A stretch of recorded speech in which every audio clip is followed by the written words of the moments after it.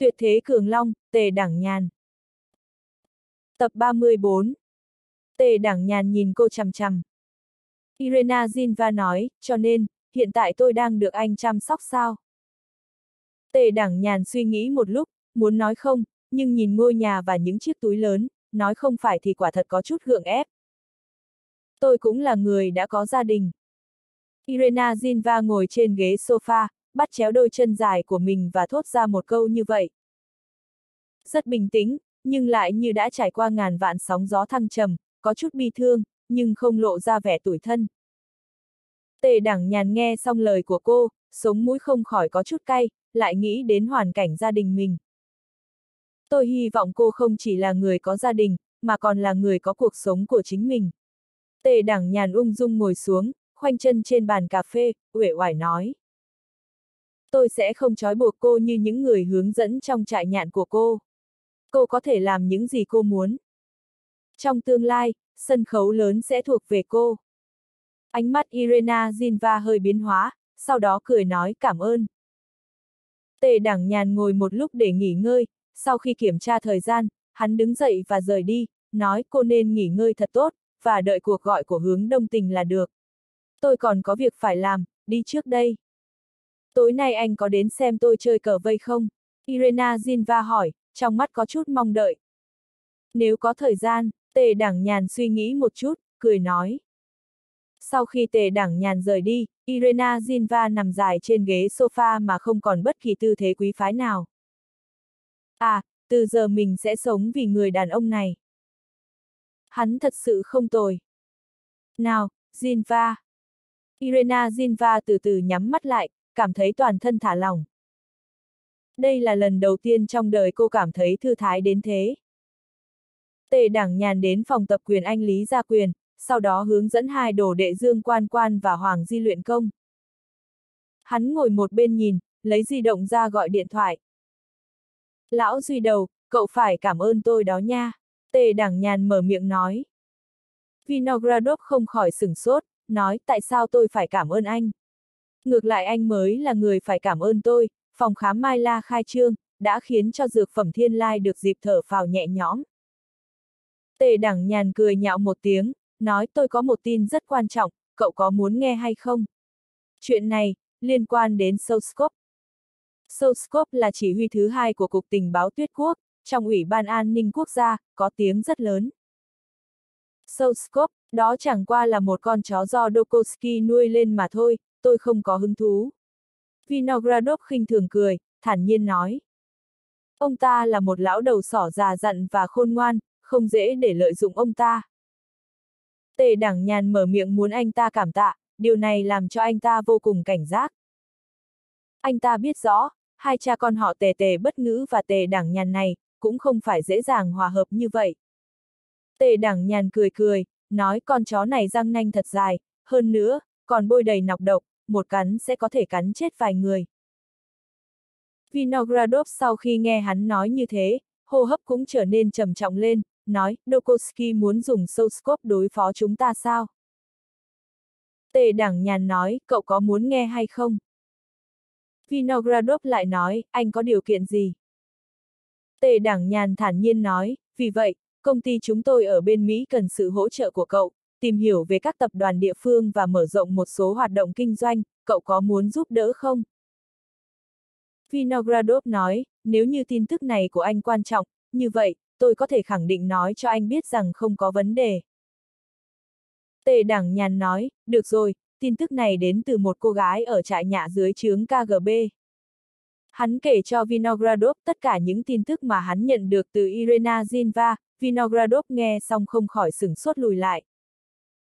Cái này nhất định không có khả năng, cao thần nhị đương ra bây giờ vẫn còn giữ liên lạc với tôi, thậm chí ở nơi này tôi có thể mua sắm rất nhiều súng ống đạn dược.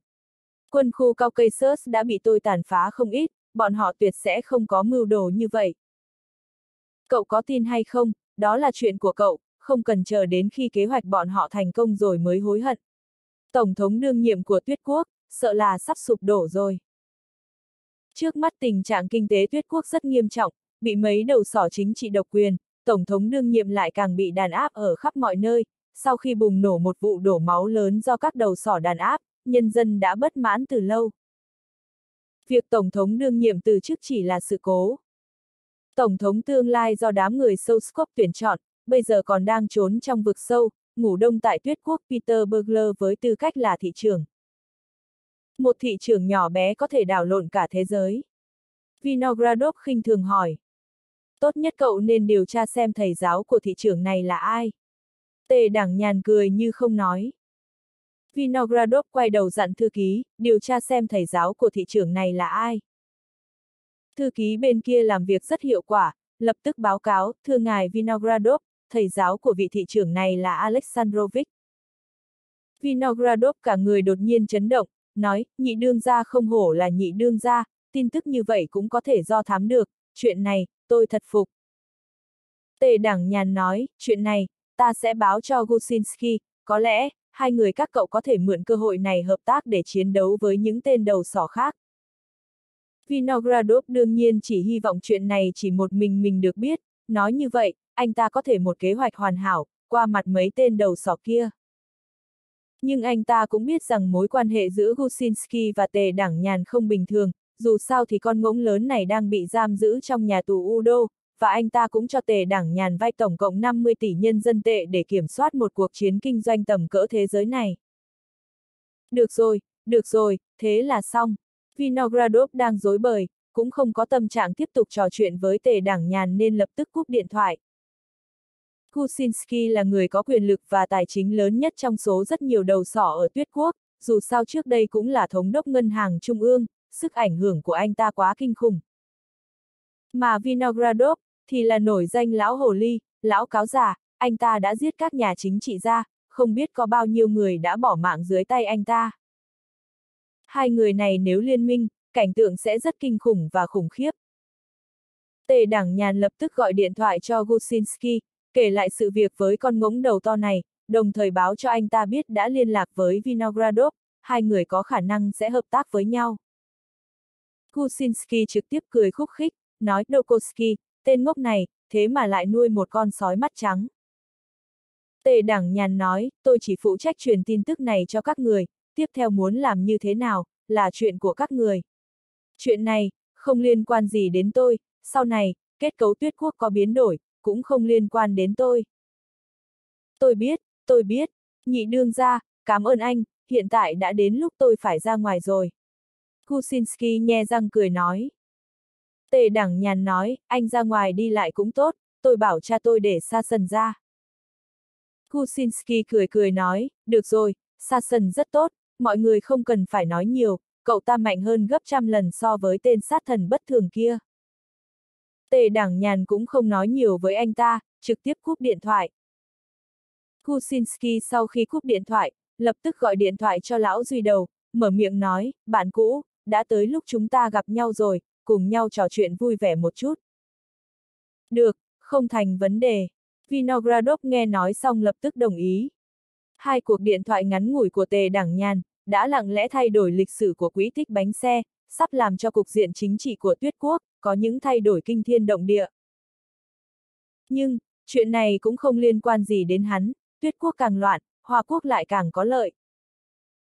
Hơn nữa, quan hệ giữa hắn và các đầu sỏ, cũng sẽ càng ngày càng trở nên thân thiết hơn. Tề đảng nhàn bỏ điện thoại di động ra sau, đứng dậy, đi tới bên cạnh Hoàng Di, đạp cho cậu ta một cái rồi nói, luyện tập sao rồi? Cho tôi chút tinh thần đi. Sau đó, hắn đi tới bên cạnh Dương Quan Quan, mỉm cười nói, không sai không sai, chính là luyện như vậy, ừm. Cổ tay nơi này phải thả lỏng một chút, sức mạnh phải đẩy ra ngoài, một khi đẩy ra ngoài, nhất định sẽ có một cỗ năng lượng bộc phát ra. Có biết năng lượng bộc phát là gì không? Chính là loại cảm giác đột nhiên nổ tung. Chết tiệt, sư phụ này là một con chó hai tiêu chuẩn. Hoàng Di nhìn thấy một màn như vậy, trong lòng không khỏi thầm mắng một tiếng, chỉ hận mình không làm ẩm ý chuyện này lên. Trong lúc tề đẳng nhàn nói chuyện với hai người, điện thoại di động vang lên, nhìn thấy Mã Hồng Tuấn gọi tới, hắn muốn trực tiếp cúp máy. Hắn cảm thấy rằng Mã Hồng Tuấn chắc chắn đã nhìn thấy việc hắn đưa Irena Zinva đi ngày hôm qua, vì vậy bây giờ ông ấy mới gọi điện đến để hỏi. Cuối cùng, Tề Đảng Nhàn vẫn bắt máy. xét cho cùng, hắn vẫn đích thị đã giữ Irena Zinva lại, sẽ bất lịch sự nếu không chào hỏi. Kết quả là vừa kết nối điện thoại, Mã Hồng Tuấn liền kinh hãi nói, Tề Tổng, thực xin lỗi, đã xảy ra chuyện rồi. Tề Đảng nhàn hơi sững người, nói, Mã Tổng, có gì từ từ nói, đã xảy ra chuyện gì? Mã Hồng Tuấn hít một hơi, mang theo sợ hãi kéo dài, Duy Kim Na chết rồi, tôi không bảo vệ tốt cho cô ấy, xin Tề Tổng đừng đừng trách tội. Cái gì? Tề Đảng nhàn nghe được những lời này, liền không khỏi kinh ngạc.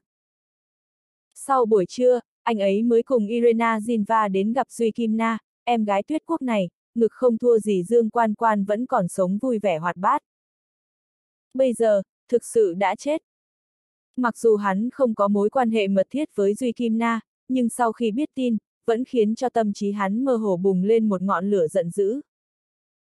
Cuộc sống của Duy Kim Na có thể thay đổi ngay trước mắt, vốn dĩ cô ấy có thể có một tương lai hoàn toàn mới.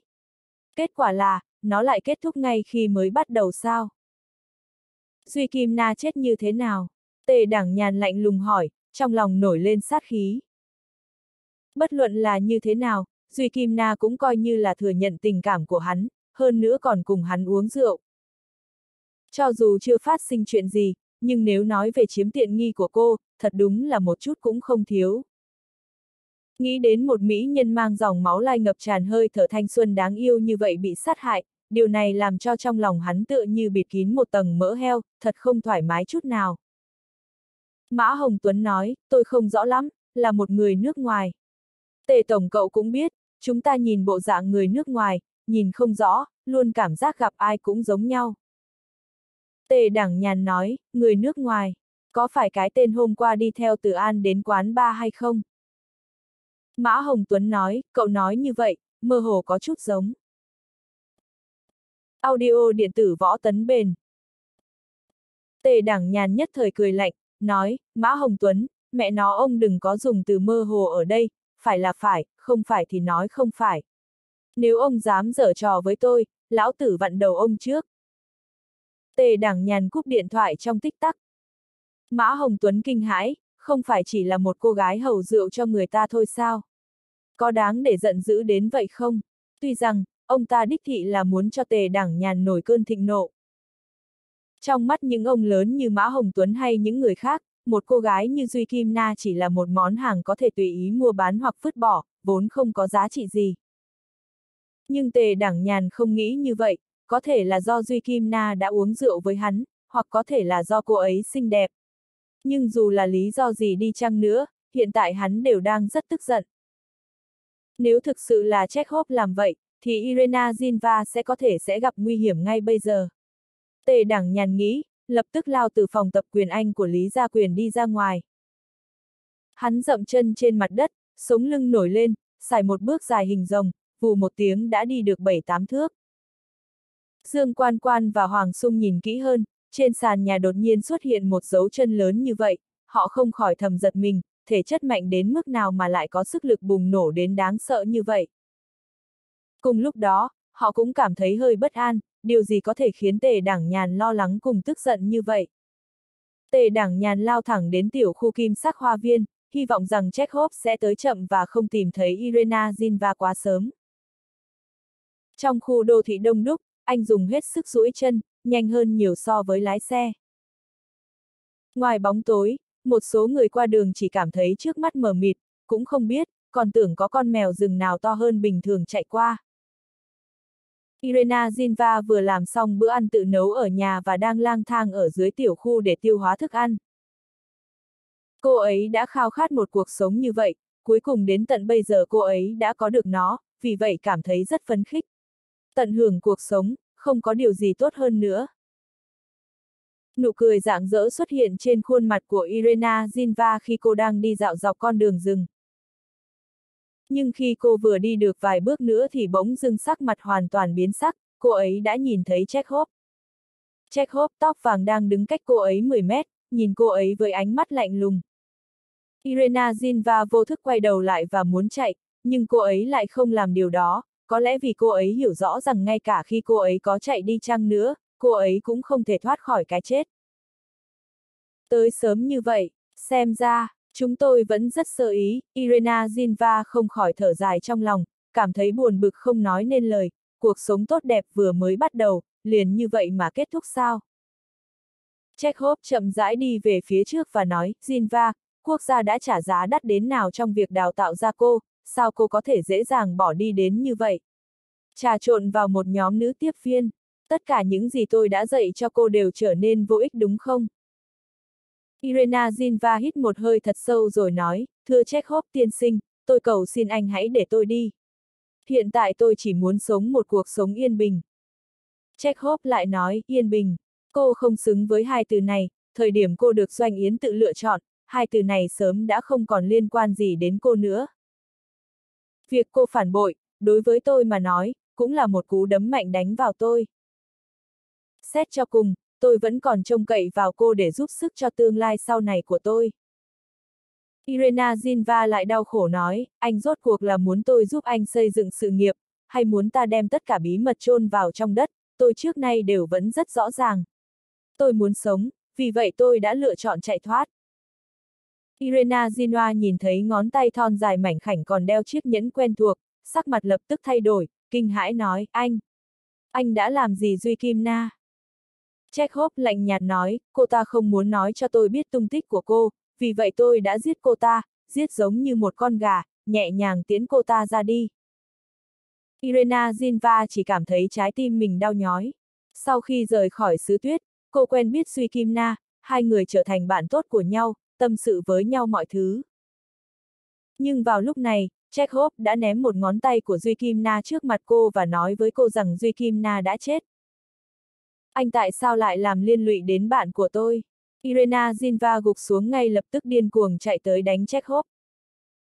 Chekhov đối với công kích của Irena Zinva một người không trải qua huấn luyện thể lực đặc biệt, đương nhiên là không để ý chút nào, thả lỏng cơ thể, sau đó một cái tát liền đem cô ngã lăn xuống đất.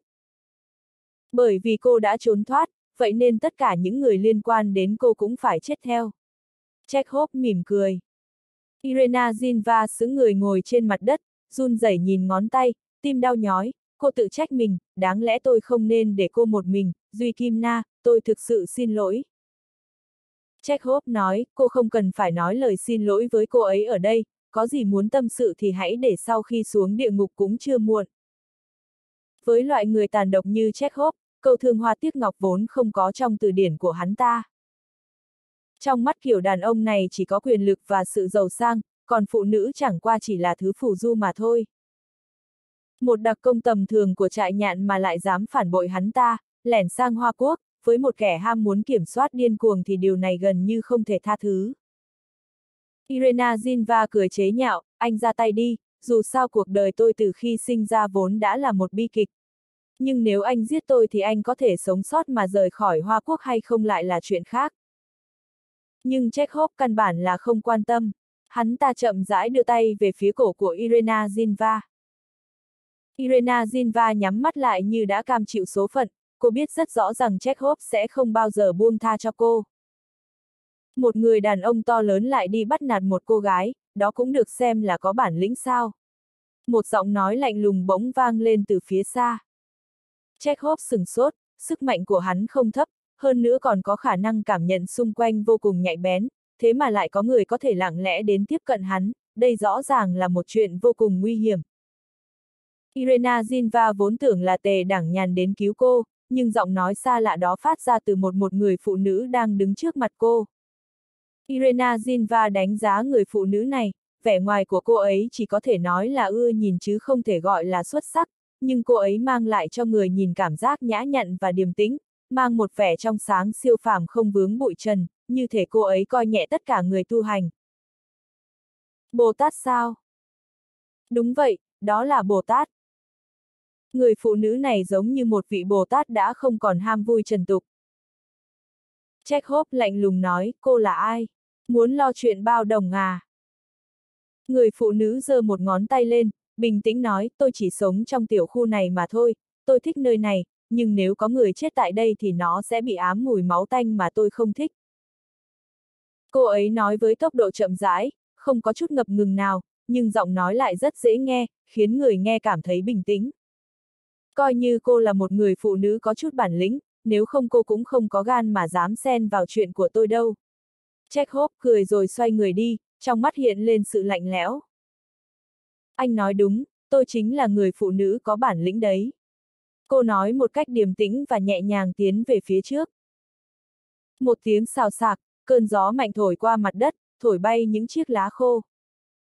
Ánh mắt Chekhov khẽ chuyển động, hắn ta trầm giọng nói, từng bước hoa sen sao. Bản lĩnh lắm. Sau khi nói xong, hắn ta cũng từ từ đứng dậy. Từ nhỏ hắn đã được học võ công của Hoa Quốc, chính hắn cũng rất có tài năng, nếu không thì đã không ngồi được vào vị trí cao như vậy của Ủy ban An ninh Quốc gia khi vẫn còn trẻ.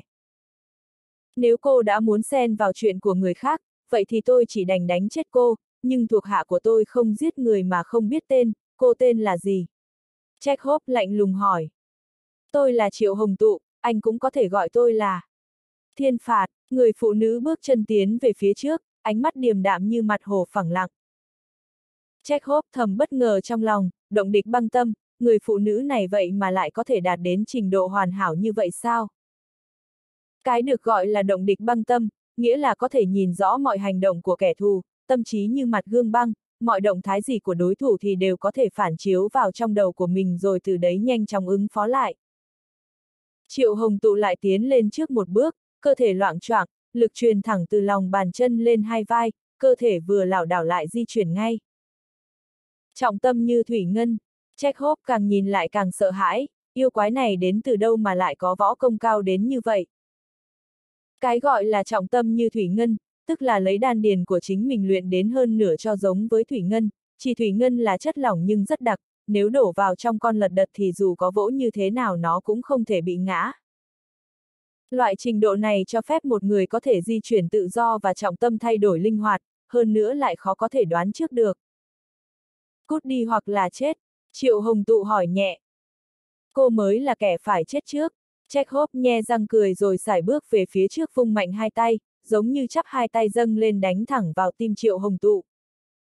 Sắc mặt Triệu Hồng Tụ thờ ơ, nhẹ nhàng di chuyển bằng những bước hoa sen, tránh sang một bên rồi giơ cao cánh tay phải lên, hệt như một cái dao cầu khổng lồ, một phát rút dao chém cỏ đã chặt đứt khuỷu tay của Chekhov.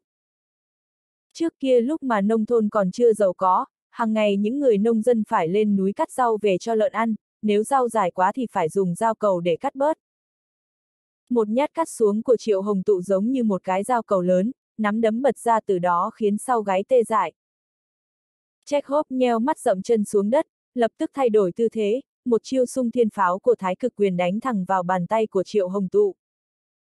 Hắn ta dùng lực dậm mạnh xuống đất, một tiếng nổ phát ra, gạch dưới chân vỡ vụn, nền đất xuất hiện một cái hố lớn.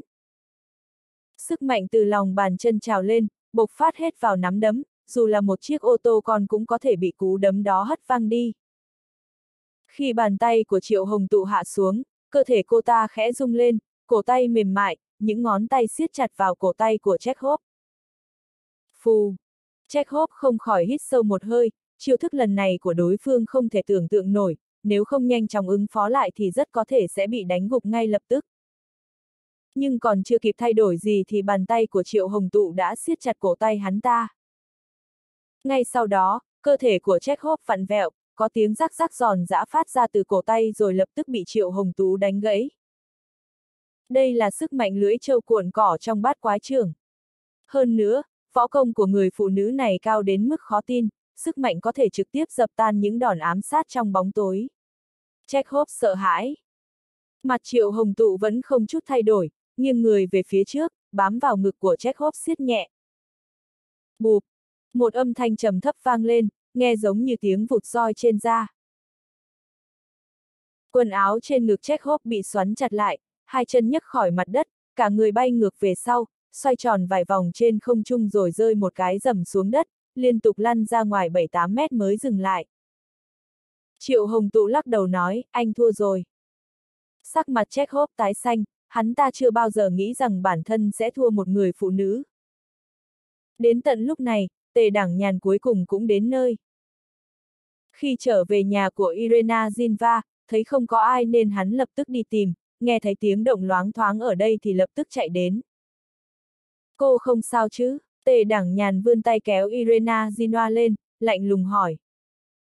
Tôi không sao, nhưng còn Duy Kim Na cô ấy. Irena Jinwa giật mình sau đó nghẹn ngào. Tôi biết rồi, tề đảng nhàn khẽ gật đầu. Triệu Hồng Tụ liếc nhìn tề đảng nhàn, bình tĩnh nói, nếu anh đã tới rồi thì việc còn lại không có liên quan gì đến tôi nữa. Nói xong, cô ta xoay người rời đi. Này, Triệu Hồng Nê, cô còn muốn giả vờ như vậy à? Tôi còn chưa cảm ơn cô đấy. Tề đảng nhàn im lặng hồi lâu rồi nói. Anh nhận nhầm người rồi.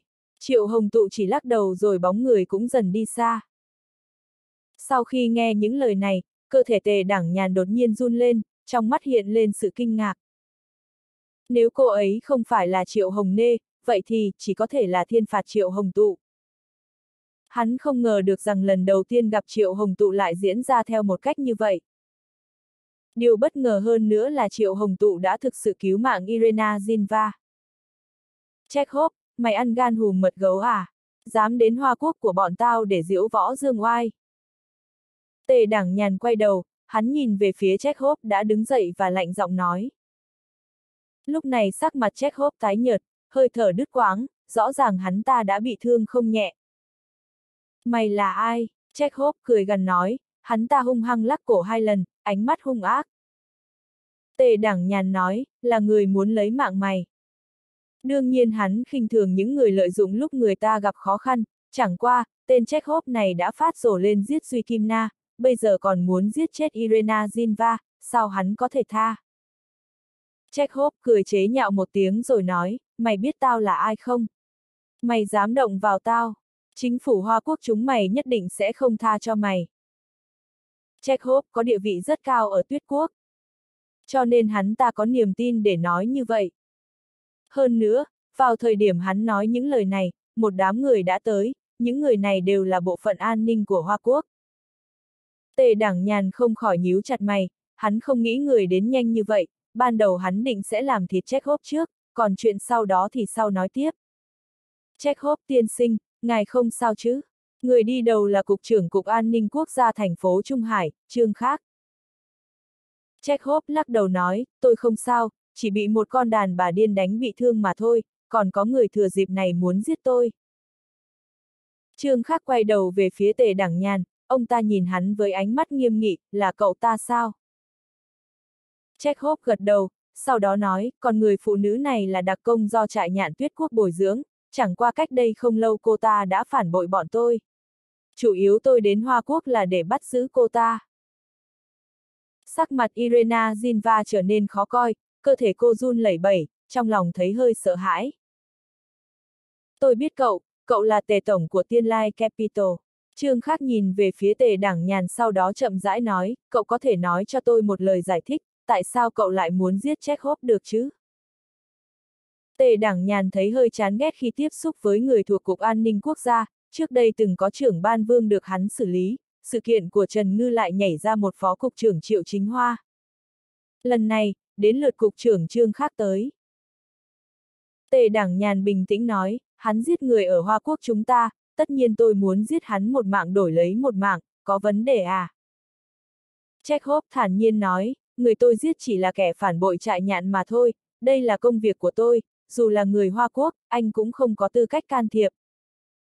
Irena Zinva nói, anh nói dối, Duy Kim Na không phải là kẻ phản bội của trại nhạn. Cô ấy chỉ là một cô gái bình thường. Chekhov nói, tôi nói đúng nghĩa là đúng, vì tôi là KGB cấp cao. Trương Khắc ho khan một tiếng sau đó nói với Tề Đảng Nhàn, Tề Tổng, Chekhov tiên sinh là người của KGB tuyết quốc, cậu không nên phát sinh xung đột với anh ta, vì như vậy sẽ mang lại rắc rối cho quốc gia. Tề Đảng Nhàn nhíu mày không nói gì nữa. Kẻ phản bội trại nhạn này tôi sẽ tạm thời bắt giữ để tiến hành điều tra. Trương Khắc chỉ tay về phía Irena Zinva nói. Sắc mặt tề đảng nhàn trở nên âm u, hắn nói, từ bao giờ Cục An ninh Quốc gia thành phố Trung Hải trở thành chó săn của KGB vậy? Lời hắn vừa thốt ra đã khiến sắc mặt của mọi người thay đổi ngay lập tức. Chú ý lời nói của cậu. Không nói được lời tốt đẹp thì ngậm miệng lại tránh gây phiền phức. Tề đảng nhàn mắt điếc tai ngơ với những lời nói nhảm này, hắn lạnh nhạt nói, tôi không biết Irena Zinva có phải kẻ phản bội trại nhạn hay không, nhưng tôi biết cô ấy là một cô gái đang cần tôi. Các người muốn đưa cô ấy đi là chuyện không thể nào. Giọng trương khác lạnh lùng nói, tề tổng, cậu nói chuyện phải chú ý chút. Còn nữa, nếu cô gái kia thật sự là kẻ phản bội của trại nhạn, chúng ta phải dùng thái độ nghiêm túc nhất để xử lý việc này. Chekhov nói, Cục trưởng Trương, vẫn nên ít nói nhảm, cô ta chính là kẻ phản bội của trại nhạn, phiền ông đưa người này đi ngay lập tức và cho điều tra rõ ràng, sau đó cứ theo trình tự rồi giao cho tôi xử lý là được. Irena Zinva không khỏi giật mình sau đó cô tỏ ra hoảng sợ. Nếu cô bị Cục An ninh Quốc gia mang đi và điều tra lai lịch, sau cùng cô chắc chắn sẽ bị giao cho chính phủ tuyết quốc. Đến lúc đó, cô chẳng khác nào miếng thịt nằm trên thớt, mặc cho Chekhov sâu xé. Hôm nay tôi nhất định phải đưa đi, tốt nhất tề tổng nên suy nghĩ nghiêm túc một lát. Trương Khắc nghiêm túc nói, ông ta bày ra dáng vẻ đang giải quyết việc công. Cuối cùng tề đảng nhàn lắc đầu, hắn lấy giấy chứng nhận từ trong túi áo ở ngực ra rồi nói, cục trưởng trương muốn dẫn người đi cũng không phải là không thể, chẳng qua tôi hy vọng lúc cục trưởng trương giải quyết chuyện này tốt nhất là công bằng một chút. Trương Khắc xem giấy của tề đảng nhàn là đúng, mặt ông ta không khỏi nặng nề, ông ta nói, chuẩn tướng của Bộ Chính trị, tôi biết thân phận này của tề tổng, tôi sẽ nghiêm túc xử lý việc này. Tề đảng nhàn dùng thân phận chuẩn tướng để đè ép triệu chính hoa, chuyện này Trương Khác đã biết từ lâu. Hiện tại tề đảng nhàn đem giấy chứng nhận ra cũng không nằm ngoài dự đoán của ông ta. Đừng nói là chuẩn tướng, cho dù là trung tướng hay thậm chí là Ngọc Tiểu Long tự mình đến đây, Irena Zinva chắc chắn vẫn bị Cục An ninh Quốc gia đưa đi. Dù sao một khi chuyện này bị vỡ lở ra sẽ liên quan đến chuyện ngoài giao của quốc gia. Tề tiên sinh, đừng đừng đừng, đừng để bọn họ đưa tôi đi. Irena Zinva hoảng sợ nhìn tề đẳng nhàn, hy vọng hắn có thể giữ cô lại. Zinva, cô đừng sợ, tôi thề với Thượng Đế, cô sẽ không gặp chuyện gì. Cô đi trước với Cục trưởng Trương đi, cô phối hợp điều tra với bọn họ, không bao lâu nữa cô sẽ gặp lại tôi. Tề Đảng nhàn vừa nói vừa nhẹ nhàng vỗ đầu an ủi Irena Zinva. Sau đó, hắn cúi đầu nói nhỏ vào tai cô, cô lại quên kế hoạch của tôi nói rồi à. Chuyện này cần tốn chút thời gian, cô cứ yên tâm chờ. Lúc này Irena Zinva mới nhớ tới, hơn nữa tề Đảng nhàn còn có hai người bạn ảm chùm, nếu hắn thật lòng muốn cô không xảy ra chuyện gì, chắc chắn cô sẽ không xảy ra chuyện gì. Chỉ là, đàn ông ấy, thật sự đáng để tin tưởng sao? Trong lòng cô có chút trần chờ, nhưng bây giờ cũng không còn cách nào khác, cô chỉ có thể lại một lần nữa để vận mệnh tương lai của mình rơi vào tay người khác, để họ tùy ý quyết định. Chekhov đứng ở một bên cười ha ha nói, vậy sao? Mày nghĩ cô ta sẽ bình an không xảy ra chuyện gì? Rất tốt, chờ mấy ngày nữa để tao nói cho mày biết suy nghĩ của mày có bao nhiêu ngu ngốc. Đến lúc đó, tao cũng sẽ chặt ngón tay của cô ta giống như tao đã làm với Duy Kim An rồi đóng gói nó lại gửi đến tận tay mày. Trương Khắc ho khan một tiếng rồi nói, check hốp tiên sinh, trước hết ngài bớt nói tranh cãi, hiện tại vẫn chưa thể kết luận điều gì. Chekhov chỉ cười khinh một tiếng rồi không nói gì thêm. Chekhov, mày cũng không đắc ý được mấy ngày đâu. Tề đảng nhàn không chút biểu cảm nhìn Chekhov rồi lạnh lùng nói. Sau đó, hắn quay đầu nói với Trương khác, Cục trưởng Trương, tôi hy vọng ông có thể xử lý chuyện này một cách công bằng. Trước khi sự việc kết thúc Irena Zinva chịu bất kỳ tổn thương nào, vậy thì, tôi tề đẳng nhàn, tuyệt đối không bỏ qua.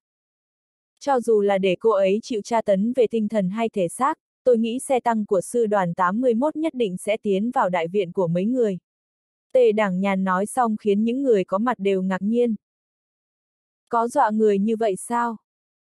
Xe tăng của sư đoàn 81 sẽ tiến vào đại viện của bọn họ bất cứ lúc nào. Những người ở Cục An ninh Quốc gia nhất thời nổi trận lôi đình, bọn họ muốn trực tiếp đánh chết tề đảng nhàn.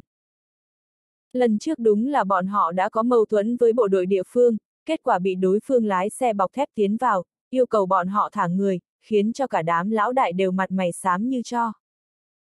Vụ việc lần này thậm chí còn được truyền tin đến tận thủ đô, làm cho Cục An ninh Quốc gia bị mất mặt. Trương khác cũng bị lời nói của tề đảng nhàn làm cho khó chịu, nhưng ông ta biết đối phương là chuẩn tướng của Bộ Chính trị, hắn được đặc cách tuyển dụng vào Bộ Chính trị, nên chỉ có thể đen mặt gật đầu. Ông ta có thể nghe, nhưng không có nghĩa là người khác cũng có thể nghe. Ở trong đám người, một người đàn ông khoảng chừng 30 tuổi đi ra, lạnh lùng nói, anh chỉ là một phế vật dựa vào quan hệ để tiến thân, anh có tư cách gì mà nói những lời như vậy. Tề đẳng nhàn không khỏi khẽ quay đầu, nhìn về phía người này, nói anh là ai? Thủ lĩnh của Hắc Long quân tại chiến khu Bạch Hổ, Diệp Phi Lưu. Người đàn ông này trực tiếp tự báo ra môn, thanh âm nói chuyện tựa như hồng trung đại lữ, trung khí mười phần. Tề đẳng nhàn sửng sốt, thật sự không ngờ đội hình bảo vệ Chekhov lại mạnh như vậy, thậm chí ngay cả thủ lĩnh của chiến khu Bạch Hổ cũng ra trận. Những người có thể làm thủ lĩnh trong khu vực chiến tranh thế giới thứ nhất thường là những cao thủ rất mạnh với kỹ năng xuất sắc, nếu không, họ sẽ không thể chấn áp được những võ si át chủ bài kiêu ngạo đó. Tề đẳng nhàn nhìn lướt qua, liền thấy rõ ràng Diệp Phi Lưu này quả nhiên là cao thủ, trên lòng bàn tay có vết chai dày, đốt ngón tay dày đặc, vân tay trên ngón tay đã mòn đến mức không thể nhìn thấy. Đối phương là một người chơi súng lớn. Diệp Phi Lưu trực tiếp nói, anh hiện tại đã là thượng tướng bộ chính trị, tôi không tiện chạm vào anh. Có điều, sau khi kỳ khảo hạch năm nay bắt đầu, hy vọng anh vẫn có tự tin như này khi đứng trước mặt tôi. Bởi vì, tôi là một trong những giám khảo trong đó. Những vị giám khảo khác cũng không nhìn quen loại phế vật dựa vào quan hệ để tiến thân như anh. Cuộc sống của anh, sẽ rất không quá dễ dàng đâu. Đến lúc đó, anh không thể tiếp tục dựa vào cấp bậc chuẩn tướng của mình để cưỡng ép khắp nơi nữa đâu. Khi Diệp Phi Lưu nói những lời này, rất tự tin, bởi vì hắn thực sự có thực lực này, sau hơn 10 năm rèn luyện, hắn đã đạt đến trình độ thông thạo thiện xạ và quyền anh, hắn sẽ không lo lắng về việc giáo huấn một chàng trai trẻ tuổi. Lần khảo hạch này được đặt ở Ma Đô, đó là ý của Phó Phong Vân. Bởi vì, nếu tề đảng nhàn trở về thủ đô, chắc chắn sẽ gây ra một trận mưa to gió lớn, đến lúc đó cục diện sẽ rối loạn, ông ấy có thể sẽ không khống chế được cục diện. Mà mục đích của lần khảo hạch này, chính là các đối thủ chính trị của Phó Phong Vân, vì đánh khuôn mặt già nua của ông ấy, cũng nhân tiện đá tề đảng nhàn kẻ gây rối ra khỏi bộ chính trị. Một ngọc tiểu long đã đủ để cho người ta đau đầu rồi, giờ lại nhiều thêm một cây gậy thọc phân, chắc chắn sẽ khiến người ta cả đêm ngủ không yên. Người của Cục An ninh Quốc gia đều rất vui khi xem náo nhiệt, thậm chí còn cảm ơn Diệp Phi Lưu vì đã đứng ra và khiến cho tề đảng nhàn phải xấu hổ. Khi đó, tề đảng nhàn không qua khảo hạch sẽ bị tước quân hàm chuẩn tướng, bọn họ sẽ có muôn vàn cách gây khó dễ cho hắn. Anh rất có tự tin, tôi sẽ nhớ kỹ anh, hy vọng đến lúc đó anh có thể làm cho tôi bất ngờ. Tề đảng nhàn mặt không biểu tình nói. Hắn lại lần nữa nhìn về phía Irena Zinva, nói, hãy tin tưởng tôi, sẽ không có chuyện gì xảy ra đâu. Dù có chuyện gì xảy ra, tôi sẽ không bỏ rơi cô một mình. Irena Zinva cắn môi dưới, nhẹ nhàng gật đầu. Giờ cô đã không còn lựa chọn nào khác ngoại trừ tin tưởng hắn. Có chuyện gì hay không, không phải do mày quyết định. Chekhov cười lạnh nói. Tiểu tử, mày nhảy nhót không được mấy ngày, đừng tưởng rằng có một lão tử lợi hại, mày liền có thể hung hăng càn quấy. Tề đảng nhàn trả lời lại một cách đầy mỉa mai. Được, vậy tao chống mắt lên xem mày có thể làm gì tao. Chekhov cười to. Tề đảng nhàn cảm thấy thật đáng tiếc, những người bên Cục An ninh Quốc gia tới quá nhanh, nếu không, Chekhov sẽ không thể kiêu ngạo trước mặt hắn, hắn ta sẽ biến thành một con chó chết ngay tại chỗ. Hắn hoàn toàn có thể tiền trảm hậu tấu, sau khi đánh chết Chekhov, đem sự tình đè xuống, đợi đến khi hai kẻ Gusinski và Vinogradov tấn công Soskop, sau đó lôi sự việc ra nói sẽ không có vấn đề gì. Tiểu thư Zinva, chúng ta đi thôi. Trương Khắc nói với Irena Zinva. Irena Zinva lưu luyến nhìn tề đẳng nhàn, vẫn đi theo Trương Khắc lên xe của Cục An ninh Quốc gia. Chekhov cười giễu cợt với tề đẳng nhàn hai tiếng, cũng rời đi theo. Tề đảng nhàn cũng không lo lắng Cục An ninh Quốc gia sẽ làm gì với Irena Zinva, dù sao, thân phận chuẩn tướng bộ chính trị của hắn vẫn còn đặt ở đây. Tuy rằng không cách nào để cho bọn họ trực tiếp thả người ra, nhưng có thể cam đoan, người ở trong tay bọn họ, tạm thời sẽ không có chuyện gì. Trước khi trình tự kết thúc, Cục An ninh Quốc gia không dám tự ý giao Irena Zinva vào tay Chekhov khi chưa được phép. Tên này phải chết, ánh mắt tề đẳng nhàn lạnh như băng, thầm nghĩ trong lòng. Còn có tự an, cảm thấy tìm tới Chekhov, liền có thể vả vào mặt mình. Nếu ông đã không biết điều như vậy, vậy cũng tốt, trực tiếp để Mã Hồng Tuấn thay thế vị trí của ông đi. Mã Hồng Tuấn đã sớm có ý nghĩ muốn thay thế Tự An, chỉ có điều, tề đảng nhàn lười phản ứng với ông ta, cũng không muốn bị cuốn vào cuộc tranh đấu này. Đến hiện tại, tình huống không giống như vậy nữa, Tự An muốn tự tìm đường chết cho chính mình, anh không có lý do gì lại buông tha.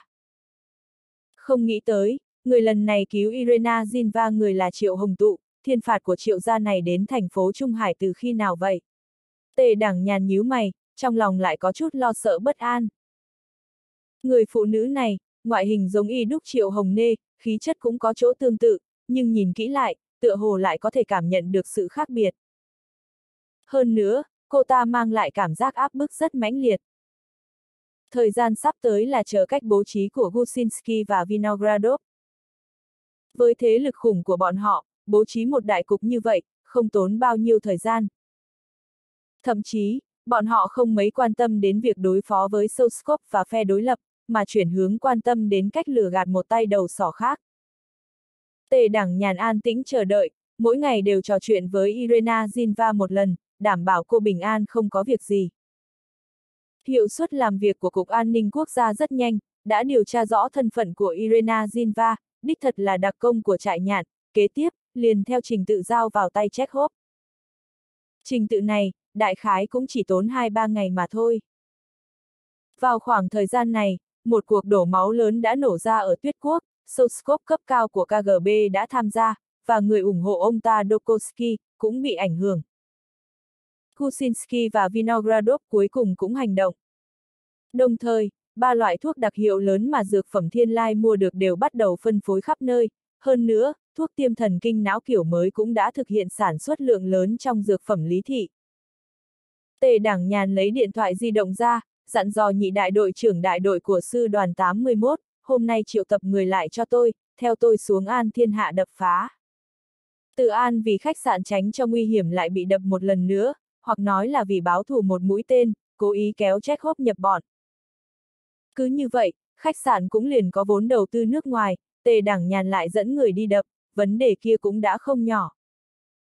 Tề đảng nhàn đối với việc này phi thường khinh thường, chính là cái này, cũng muốn cùng hắn ngấm ngầm dở trò. Hay là không biết, hắn mới là chân chính lão già độc ác. Tề Tổng, Tôn Liên Thành của dược phẩm Tôn Thị tới rồi, muốn hay không gặp một lần. Dương quan quan gõ cửa tiến vào, đối với tề đảng nhàn nói. Tôn Liên Thành, tôi không có hứng thú gặp tên ngốc đó. Tề đảng nhàn trực tiếp lắc đầu phủ quyết.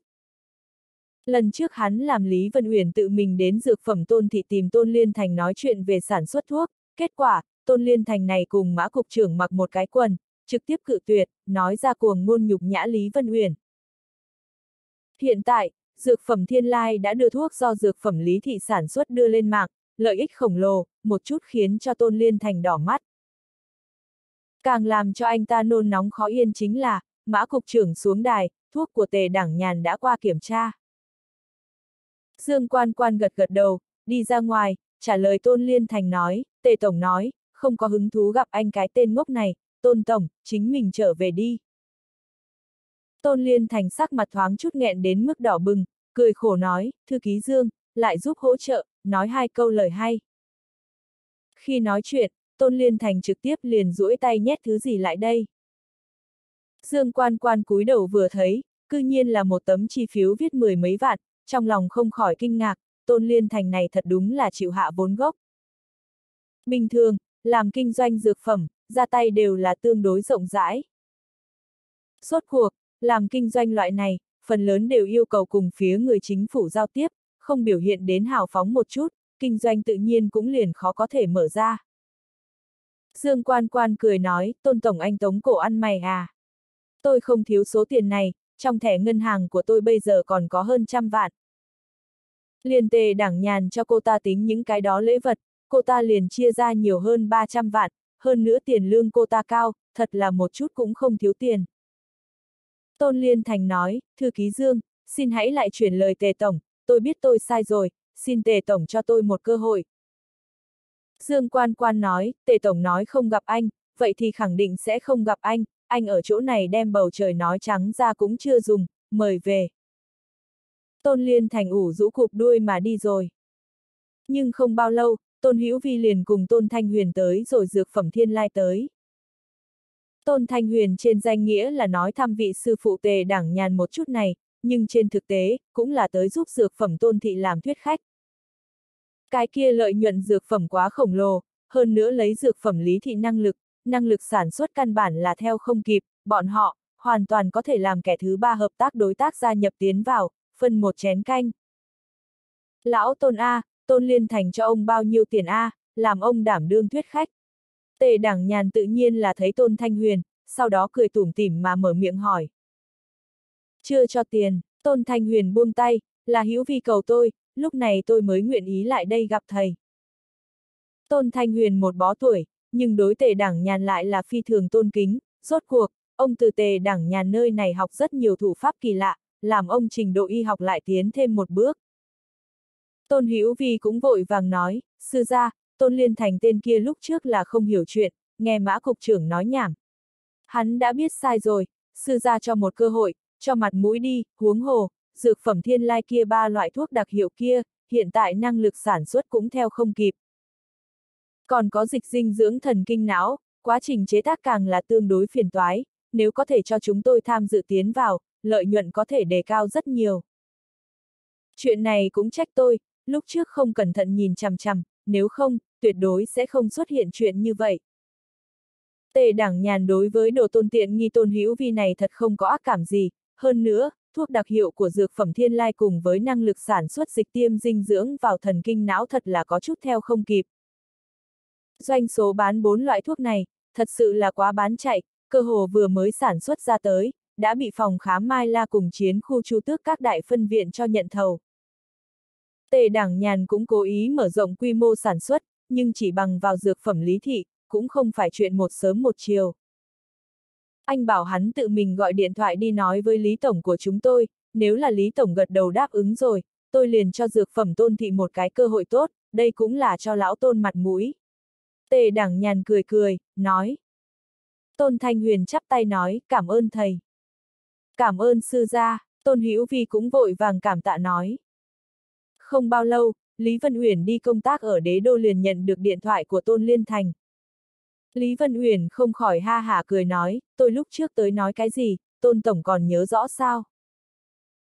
Tôn Liên Thành chua xót nói, Lý Tổng lúc trước làm tôi nhớ kỹ lời nói của chính mình, tôi nhớ kỹ đâu, bây giờ tôi, thực hối hận, tôi là một tên ngốc, thuần ngốc, còn xin Lý Tổng cho tôi một cơ hội nữa. Lý Vân Uyển lạnh nhạt nói, tôi dựa vào cái gì phải cho anh cơ hội nữa. Lúc trước cho anh cơ hội hợp tác, là chính anh không cần. Tôn Liên Thành ảo não nói, ta thật sự biết sai rồi, Lý Tổng, cầu xin, cho một cơ hội. Lý Vân Uyển nghe thái độ của Tôn Liên Thành rất là thành khẩn, hơn nữa lại liên tục xin lỗi, đem lời nói được rất dễ nghe, nghĩ đến hiện tại dược phẩm lý thị năng lực sản xuất có chút tách rời, liền nói, được, tôi sẽ nói lại cùng tề tổng, bất quá, phân phối ích lợi. Toàn bộ nghe Lý Tổng cô an bài, chỉ cần cho chúng tôi một ngụm canh uống là được. Tôn Liên Thành vội vàng nói.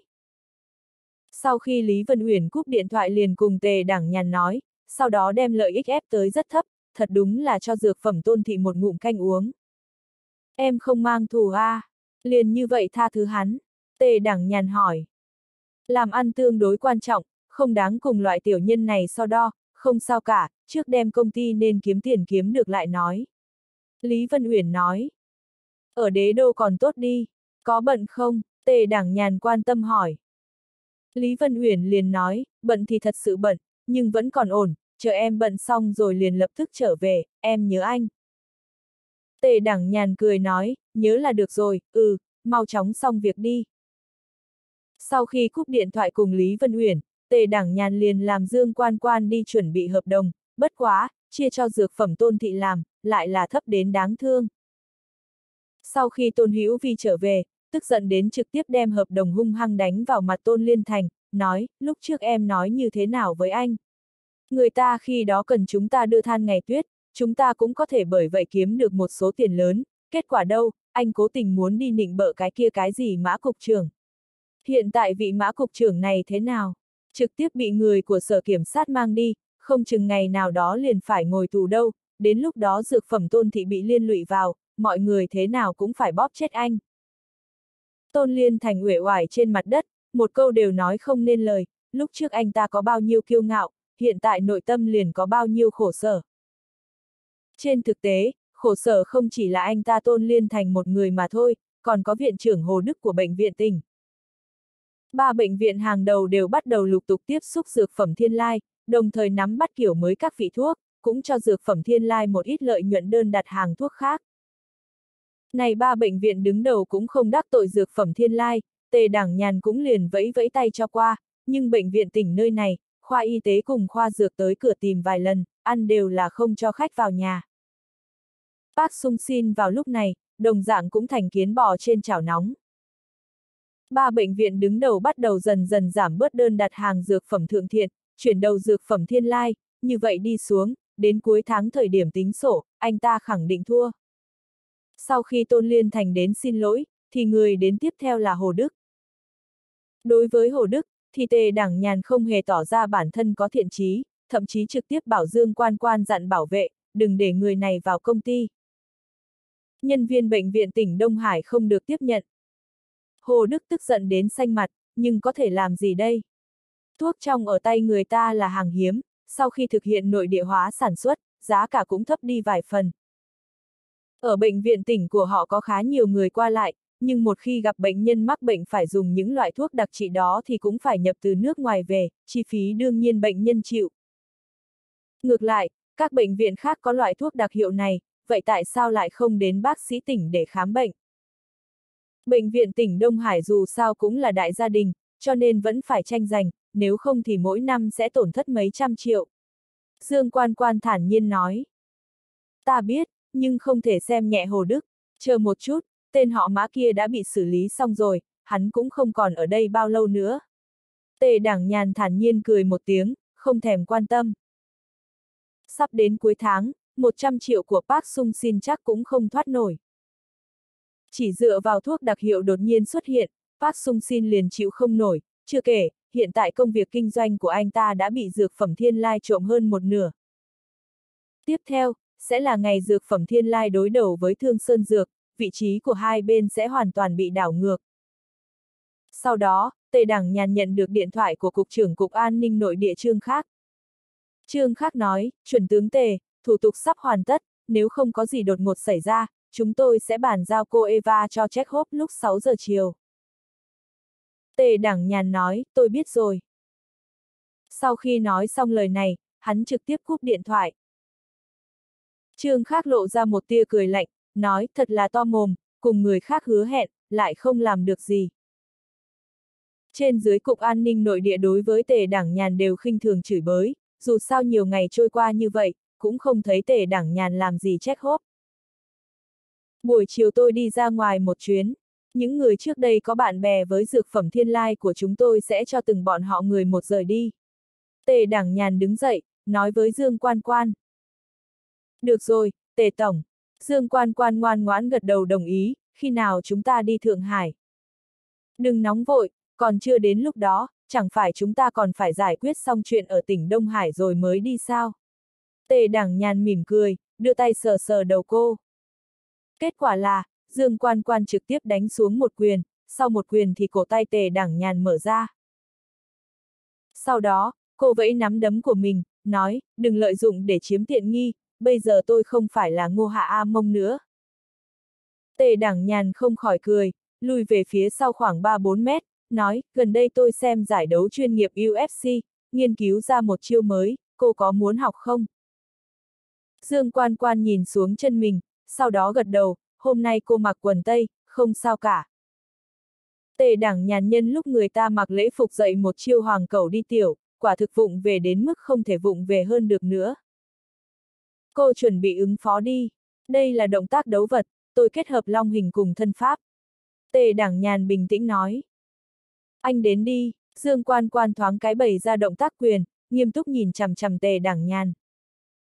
Khi đứng lên trong tư thế tam thân, cô có cảm giác như tam tài thiên địa nhân hòa làm một, ánh mắt sắc bén, từ đầu ngón tay nhìn thẳng qua, hai chân giống như chân gà gắt gao bám lấy mặt đất, Tề đảng nhàn cũng không nhiều lời, đột nhiên ngồi xổm xuống, hai chân thoáng hất ra, động tác thoạt nhìn vụng về khoa trương, nhưng biên độ vận động chân lại cực kỳ lớn.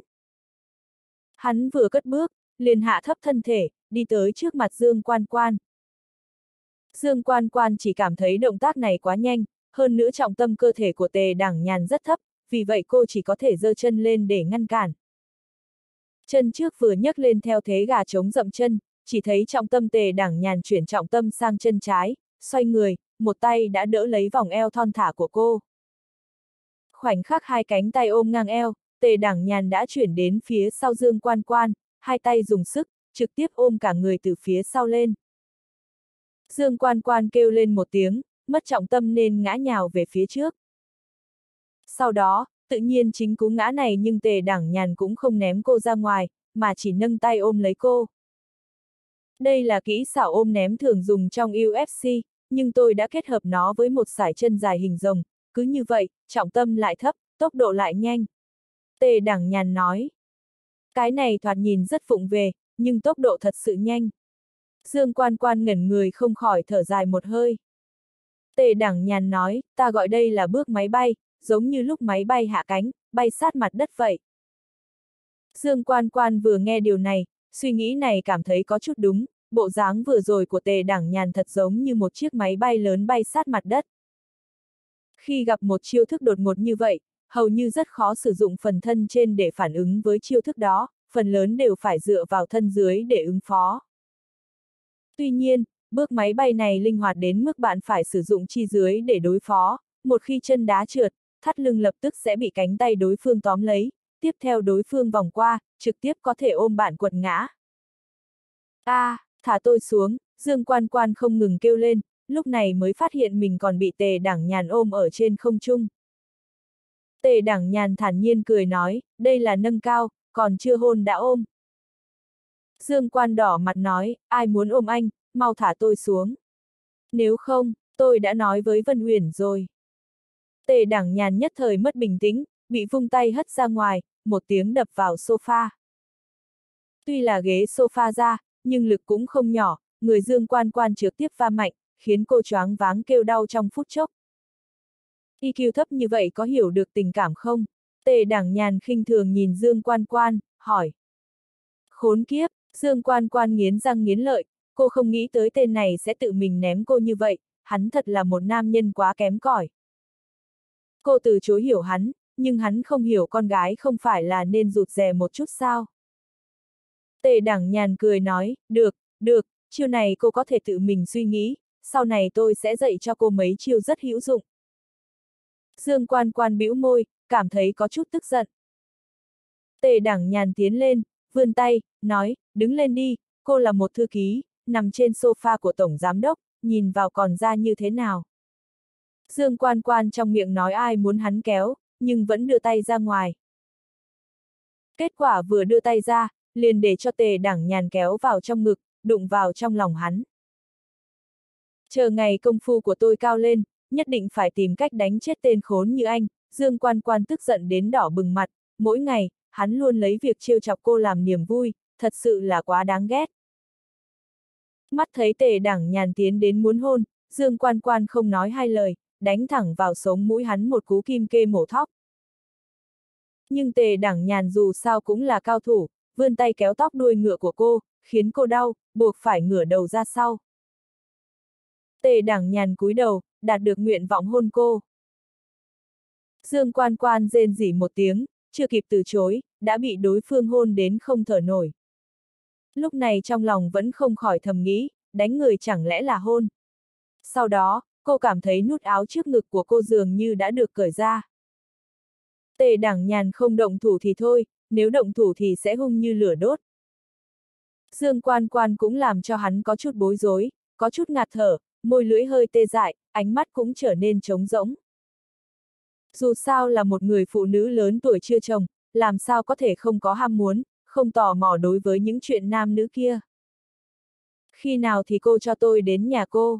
Tề đẳng nhàn không khỏi hỏi, hắn càng háo hức hơn muốn Dương Quan Quan được hắn huấn luyện trở nên ưu tú hơn, càng khát vọng hơn. Dương Quan Quan nhẹ nhàng mím môi, đem đầu chôn ở trên vai hắn, do dự nói, đi ma đô. Sau đó đến, thì được. Tề đẳng nhàn tùy tiện nói, cho tôi xem ngực của cô đi. Dương quan quan hung hăng đẩy hắn ra, tức giận nói, đồ lưu manh. Tề đảng nhàn cũng không biết vì sao mình lại nói ra câu nói như vậy, có lẽ là do hắn không nhịn được hay thật sự yêu rồi sao? Những lời này, khiến Dương Quan Quan cảm thấy hắn thiếu tôn trọng mình. Xin lỗi, tôi thật sự thích cô. Tề đảng nhàn ngượng ngùng cười cười, đưa tay giữ chặt lấy hai tay cô ta. Dương Quan Quan vốn rất tức giận, đột nhiên thoáng cái đã không còn, một trận xấu hổ dâng lên từ tận đáy lòng. Cô ta nghĩ sao người này có thể vô sỉ như vậy, cả ngày miệng đều nói thích mình, không có việc gì thì đùa giỡn mình, còn mượn lúc dạy công phu chiếm tiện nghi. Nhưng chính mình, hết lần này tới lần khác lại không có cảm giác ghê tởm nào. Tề đảng nhàn rất vô sỉ hỏi, vậy, cô thích tôi sao? Dương quan quan không nói gì. Tề đảng nhàn thản nhiên nói, tôi khao khát cô như con nai đang mong chờ dòng suối vậy. Dương quan quan nói, đừng lấy những lời trong kinh thánh ra lừa dối tôi, tôi đã đọc rồi. Sau đó, cô ta cúi đầu, thấp giọng nói, nhưng mà, tôi rất thích. Cô ta nói rất thích, không biết là thích tề đảng nhàn, hay là thích hắn nói những lời này. Nhưng điều này cũng làm cho tề đảng nhàn rất cao hứng, dù sao thì Dương Quan Quan cũng chưa bao giờ trực tiếp biểu lộ tình cảm như vậy với hắn, đây xem như một điều tiến bộ. Từ sâu trong nội tâm mà nói, Dương Quan Quan rất tự ti, cô ta sợ hãi với những thứ này, bởi vì, từ nhỏ đối với bất kỳ đồ vật gì mà cô ta thích, đều bị người nhà Dương ra cướp đoạt. Thời gian trôi qua, cô ta đều lo lắng mình sẽ mất đi thứ mình thích, vậy không thích gì thì sẽ tốt hơn. Thật ra tôi cảm thấy có một câu từ rất thích hợp với cô. Em có nguyện ý bóc từng lớp trái tim của anh không? Em giống như một củ hành tây, sau khi bóc vỏ luôn khiến anh ngạc nhiên. Dương quan quan, tôi cảm giác cô giống như một kho báu quý giá, đang chờ tôi tiếp tục khám phá. Tề đẳng nhàn ôn nhu nói, dùng lời ngọt ngào để dỗ dành Dương quan quan ngả vào lồng ngực mình, ngồi trên đùi mình. Dương quan quan cảm thấy mũi và miệng cô ta có một vị ngọt ngào ấm áp, khiến cô ta say sưa mê mẩn đến mức không để ý tới một bàn tay đang luồn vào trong vạt áo. Thậm chí, cô ta cảm thấy để cho một người khao khát mình như vậy vuốt ve, là một chuyện rất hạnh phúc. Giây phút này, thật sự cô ta có chút khát vọng. Anh nói tôi là kho báu sao? Dương quan quan ngượng ngùng hỏi. Đúng vậy, tề đẳng nhàn nghiêm túc gật đầu. Chưa từng có một người đàn ông nào dùng lời nói này để miêu tả cô ta, cô ta có cảm giác bị đâm trúng điểm yếu, đương nhiên, có lẽ cũng bởi vì cô ta thích người đàn ông này, cho nên người ta nói gì, cô ta đều cảm thấy rất dễ nghe. Tề đảng nhàn cảm thấy mình hình như thật sự có chút tài năng, không nghĩ tới mình vẫn bị chửi bới IQ thấp, có một ngày cũng có thể đem lời tâm tình nói về tình yêu, thật tuyệt vời. Để cho tôi xem ngực của cô, tề đảng nhàn cảm thấy lúc này mới thật sự là thời cơ. Anh cô thể chạm nó, nhưng chỉ chạm thôi, Dương Quan Quan hít một hơi thật sâu, run rẩy nói. Sau khi được Dương Quan Quan cho phép, tề đảng nhàn cũng không do dự nữa, dù sao, do dự sẽ thất bại. Tề đảng nhàn thở dài trong lòng, cảm thấy đáng tiếc, nếu như nơi này không phải văn phòng, có lẽ hắn cũng không phải đợi cho tới khi đến Ma Đô. Nhưng trong lòng hắn rất cao hứng, ít nhất, xem như hắn có thể đem lột sạch củ hành Tây Dương quan quan này. Mấy phút sau, Dương quan quan đẩy tay hắn ra, đứng lên sửa sang lại quần áo, có chút oán trách nhìn hắn, nói tôi đi làm đây.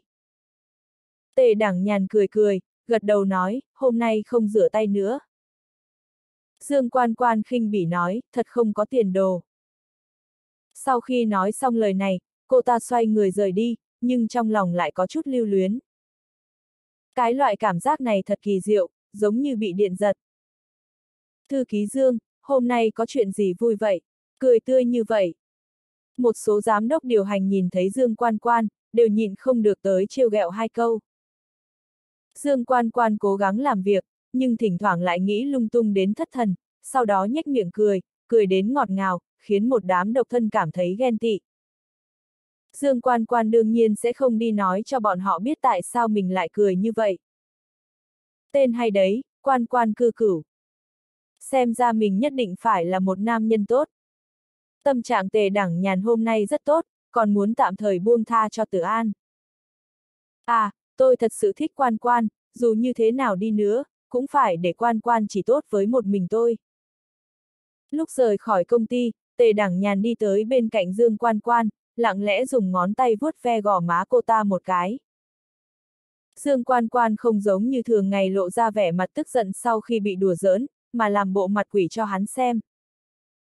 Tề Đảng nhàn không khỏi cười, nói thật đáng yêu. Dương Quan Quan nói, cút đi. Sau khi tề Đảng nhàn đi rồi, Dương Quan Quan cảm giác mình không có động lực để làm việc. Hết thuốc chữa rồi, thật sự già đến phát điên rồi.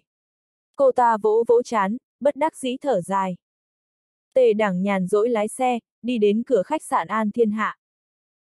Từ lần trước sau khi bị đập phá, khách sạn An Thiên Hạ không mở cửa làm ăn nữa để tân trang lại, thậm chí, chi phí tân trang còn cao hơn lần đầu tiên. Tự An cho rằng kéo Chekhov vào sân, tôi sẽ không có cách nào động đến hắn. Cũng vừa lúc, để cho tên gia hỏa tự cho là đúng này cút đi, lười đánh lão già này nữa. Tề đẳng nhàn đẩy cửa xe đi xuống xe, nhìn thoáng qua bảng hiệu khách sạn, bước lên bậc thang, tiến vào giữa khách sạn. Hai người từ An cùng Chekhov đều ở trong đại sảnh khách sạn, sau khi nhìn thấy tề đảng nhàn tới, Chekhov không khỏi kinh ngạc. Khách sạn này trang hoàng không tồi, cũng nên để tôi đập một lần nữa. Tề đảng nhàn nhếch miệng cười với Từ An. Đập một lần, Chekhov ánh mắt lạnh lùng, mày đang đùa với tao à? Khách sạn của tao, mày muốn đập thì đập sao? Hắn ta nghiêng đầu nhìn Tề Bình Nhàn, nói, mày ngay cả người phụ nữ của mình cũng không cứu được, còn muốn đập khách sạn của tao. Không bằng trước tiên mày nên đi tiểu, xem lại chính mình, xem có đủ tư cách hay không. Từ An lạnh lùng nói, Tề Tổng, nếu có bản lĩnh, có thể đập nát nó. Nhưng mà, tôi phải nói cho Tề Tổng biết trước, khách sạn này, Chekhov nắm giữ 40% cổ phần. Tề đẳng nhàn cũng không nói nhiều lời, hắn giơ tay nhìn đồng hồ, đã đến giờ rồi. Giây tiếp theo, một chiếc jeep đỗ xịch trước cửa, sau đó, một lượng lớn binh lính vác súng đã lên đạn trên vai nhảy khỏi xe. Biểu cảm của ai nấy đều phấn khích lạ thường, lần trước cũng là mấy người bọn họ đi theo tề đảng nhàn đến đập phá khách sạn này. Hơn nữa trước đây tề đảng nhàn đã làm từ an phải tu bổ lại một lần, bây giờ cần phải làm lại lần thứ hai mới giúp ông ta khai trương lại lần nữa. Nhưng lúc này từ an không có chút sợ hãi nào, suy cho cùng chỗ này có chết hốp, hơn nữa hắn còn có một chân sở hữu cổ phần khách sạn nên khách sạn này có thuộc tính đầu tư nước ngoài ngay lập tức. Khi nhìn thấy một lượng lớn binh lính xông vào khách sạn, sắc mặt Chekhov không khỏi trầm đi một chút. Giáo quan tề, hôm nay tôi mang pháo Italy đến. Nhị đại đội trưởng phấn khích nói rồi dơ sẻng công binh ra. Chekhov nhìn tề đẳng nhàn và cười lạnh, lấy nhân công làm việc tư. Muốn để đám binh lính Hoa Quốc chúng mày đến dỡ khách sạn của tao. Mày có chắc muốn làm vậy không? Tề đẳng nhàn vẫy tay với chúng binh lính, trước tiên đợi một chút, cho Chekhov tiên sinh ít thời gian, xem hắn có thể ngăn cản chúng ta được hay không. Chekhov cười khẩy rồi lập tức kết nối điện thoại, sau đó hắn nói với tề đẳng nhàn, 5 phút, anh ta sẽ sớm tới đây thôi. Các binh lính xếp hàng chỉnh tề đứng trong khách sạn, tề đẳng nhàn thoải mái ngồi xuống, chờ đợi 5 phút trôi qua.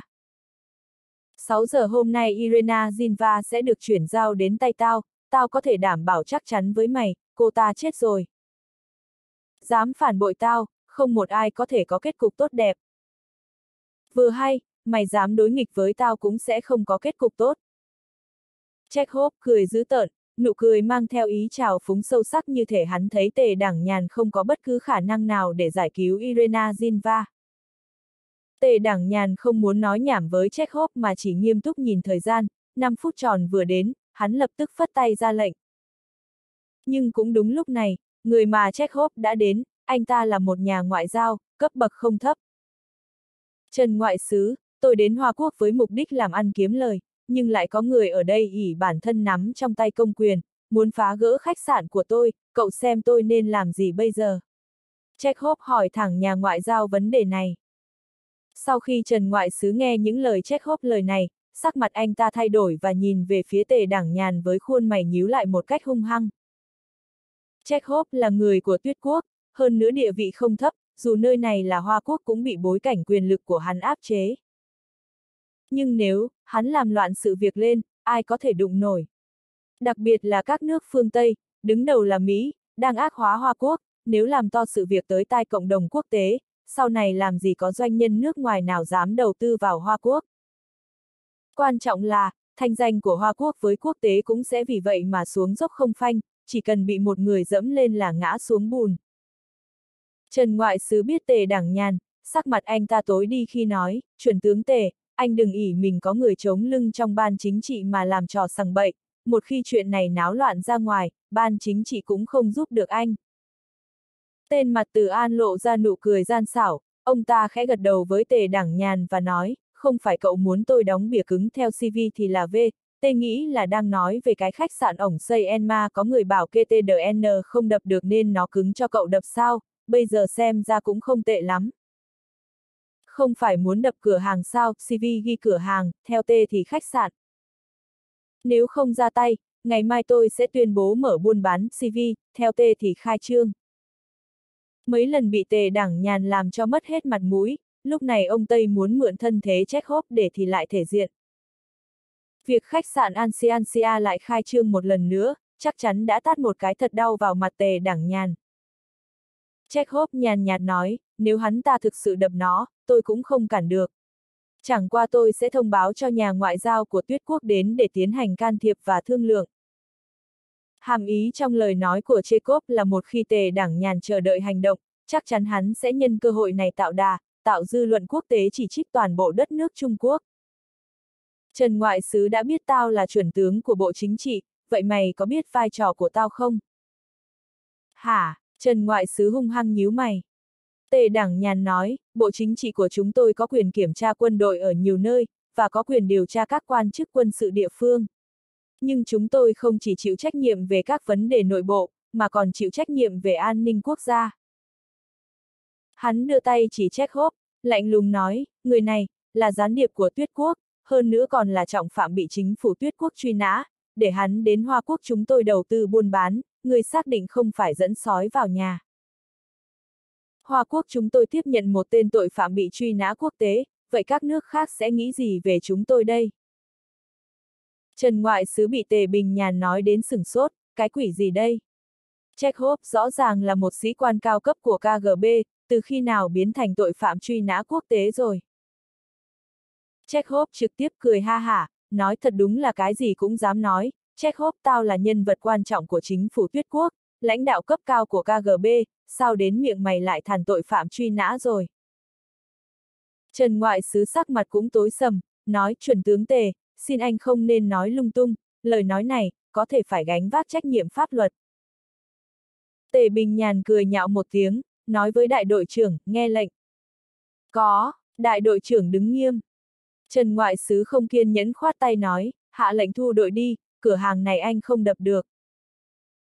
Tề đảng nhàn nhếch miệng cười, nói, đập nó đi. Vâng, nhị đại đội trưởng hưng phấn lớn tiếng đáp lại.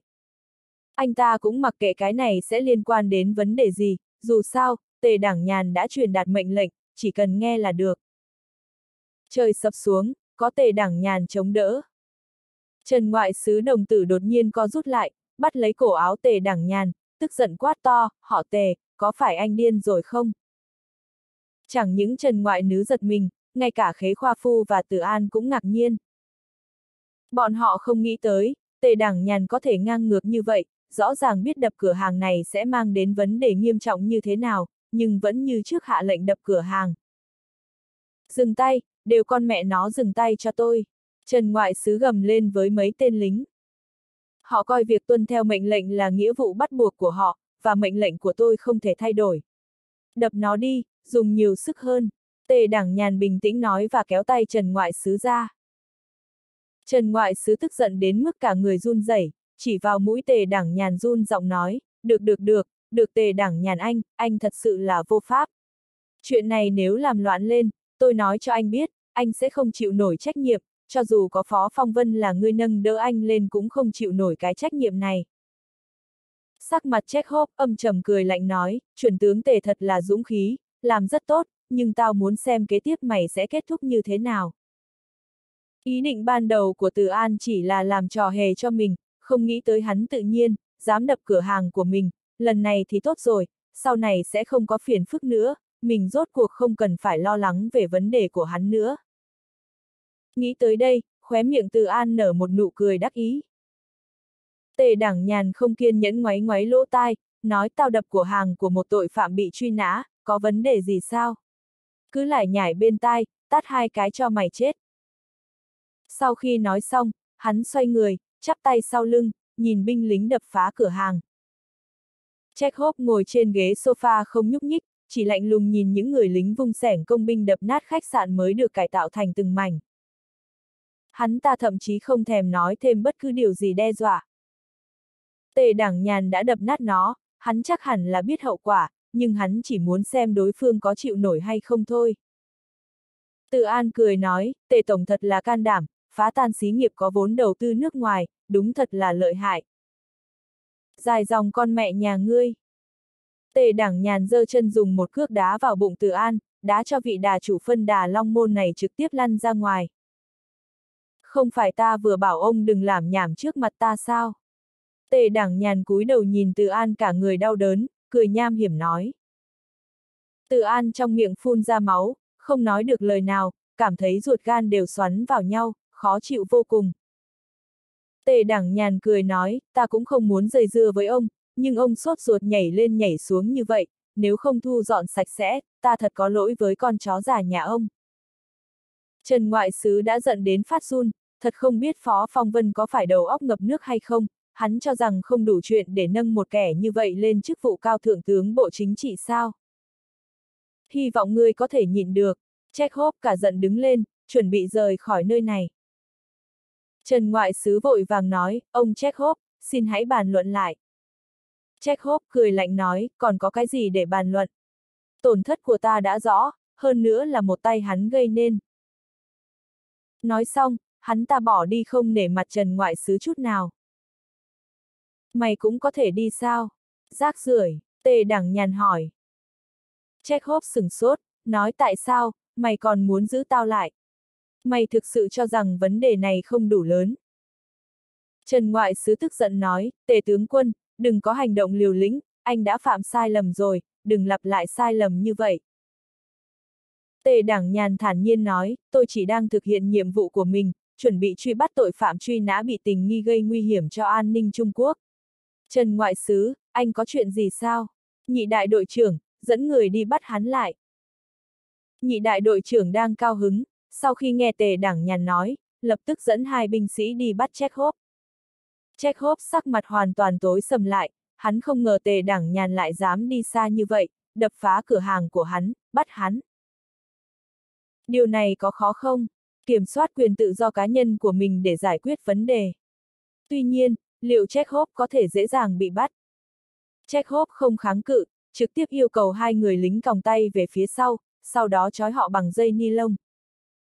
Trần Ngoại Sứ gần như sững sờ, anh ta cảm thấy tề đảng nhàn thực sự là một tên ngốc, khi hắn làm một việc gì đó, hắn chỉ quan tâm đến cảm xúc nhất thời và không quan tâm đến hậu quả. Cửa hàng bị đập phá, thậm chí có người bị bắt, đến lúc đó chính phủ tuyết quốc sẽ làm loạn, ai có thể gánh nổi.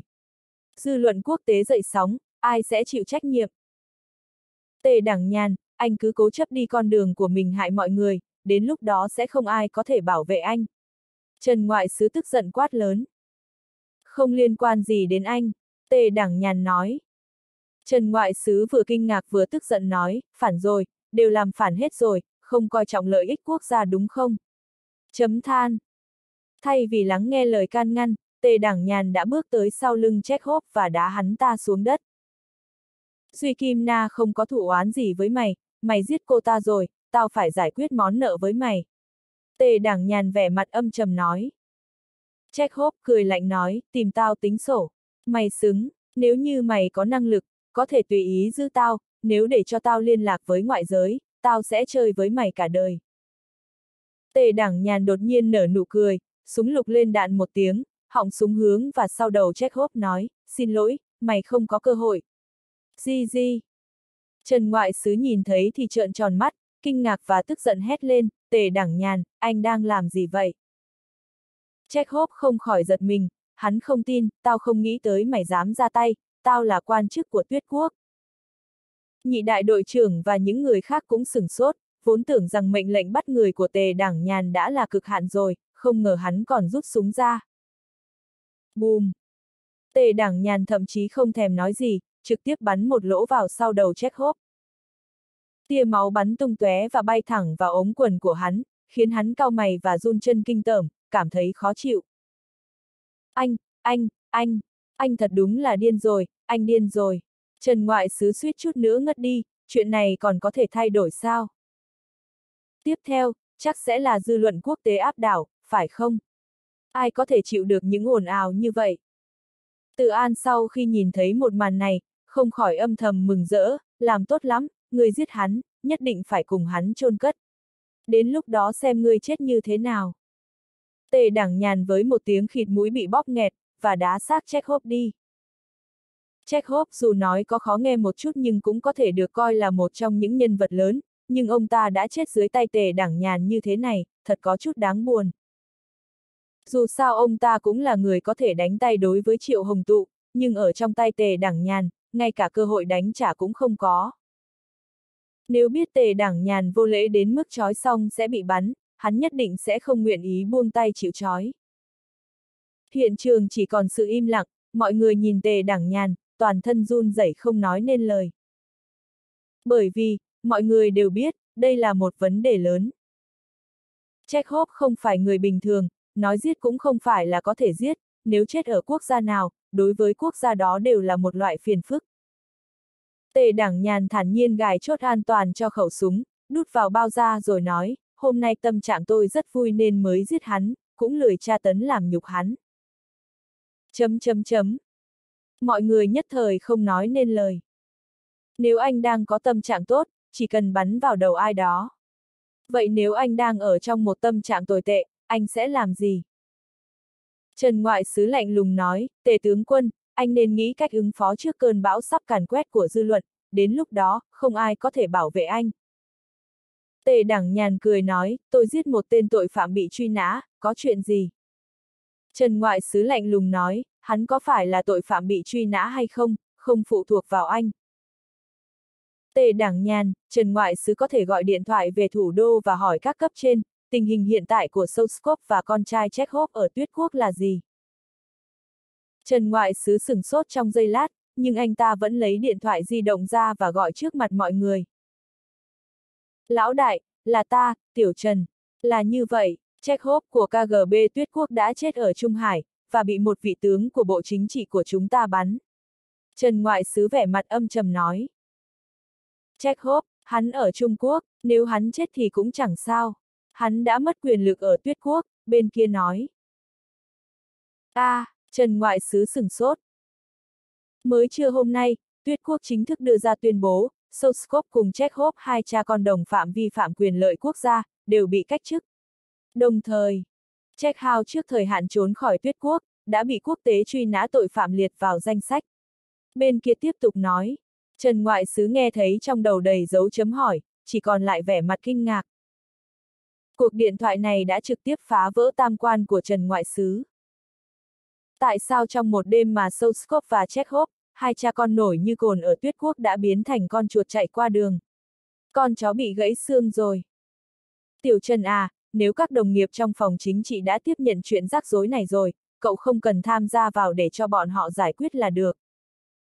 Chekhov chết thì cũng đã chết rồi, quan chức của tuyết quốc có khi còn cảm ơn chúng ta vì đã giải quyết thay họ chuyện này. Trần Ngoại Sứ yên lặng cúp điện thoại, ánh mắt nhìn tề đảng nhàn có hơi phức tạp. Soskop ở tuyết quốc có địa vị như thế nào, Trần Ngoại Sứ cực kỳ hiểu rõ. Đột nhiên hắn ta ngã ngựa trở thành phạm nhân, con trai của Soskop lại trở thành tội phạm bị truy nã. Những chuyện này quá khó tin. Tề đảng nhàn người này, chẳng lẽ lại có cả năng lực chi phối tình hình chính trị ở tuyết quốc? Soskop, hắn ta đã có thể nói là đại lão hàng đầu rồi. Trần Ngoại Sứ nói, tề chuẩn tướng, nếu anh đã bắn chết Chekhov, vậy thì mọi chuyện tiếp sau sẽ do toàn quyền phòng chính trị bên anh xử lý đi. Tề Đảng Nhàn trả lời, đương nhiên, tên Chekhov này ở Hoa Quốc đã giết một cô gái tên Duy Kim Na, tôi giết hắn ta, chẳng qua là một mạng đổi một mạng thôi, ông không cần lo lắng bên tuyết quốc sẽ truy cứu.